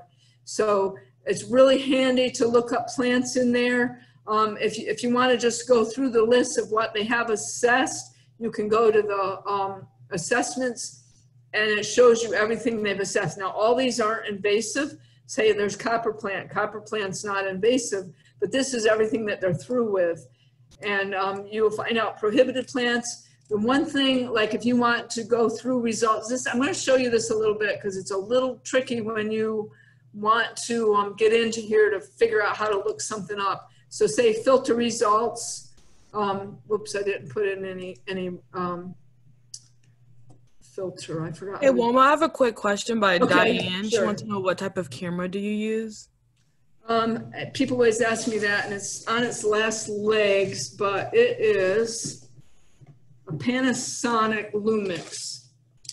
And I just asked one of my friends who bought a new camera, and he always is really good at researching, so I'll probably get what he got. But he also got a new Panasonic, so I feel good because I copied that from him the time he got it, and he's had to replace his. And his was also a Panasonic AE6 something, but um, yeah, I've had really super good luck with this camera.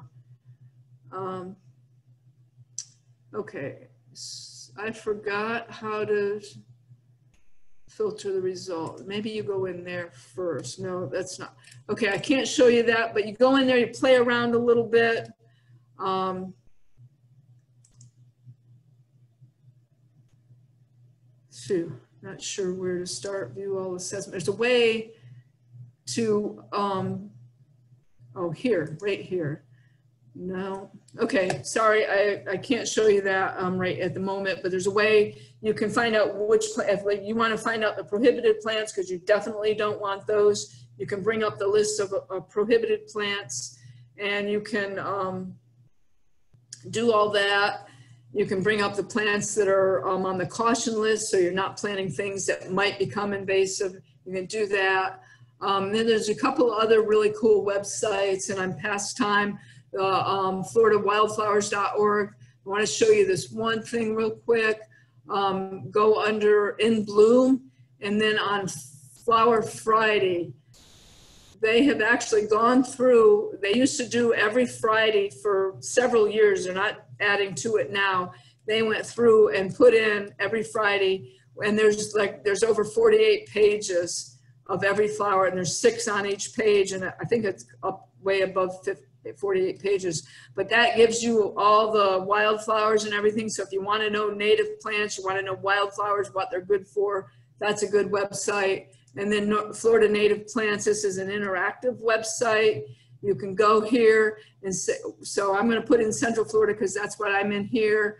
Um, maybe I'm looking for flowers, so I click on that, then I go to the next page and I only want native, so I'm going to put yes. Maybe I'm looking for some perennials in partial shade.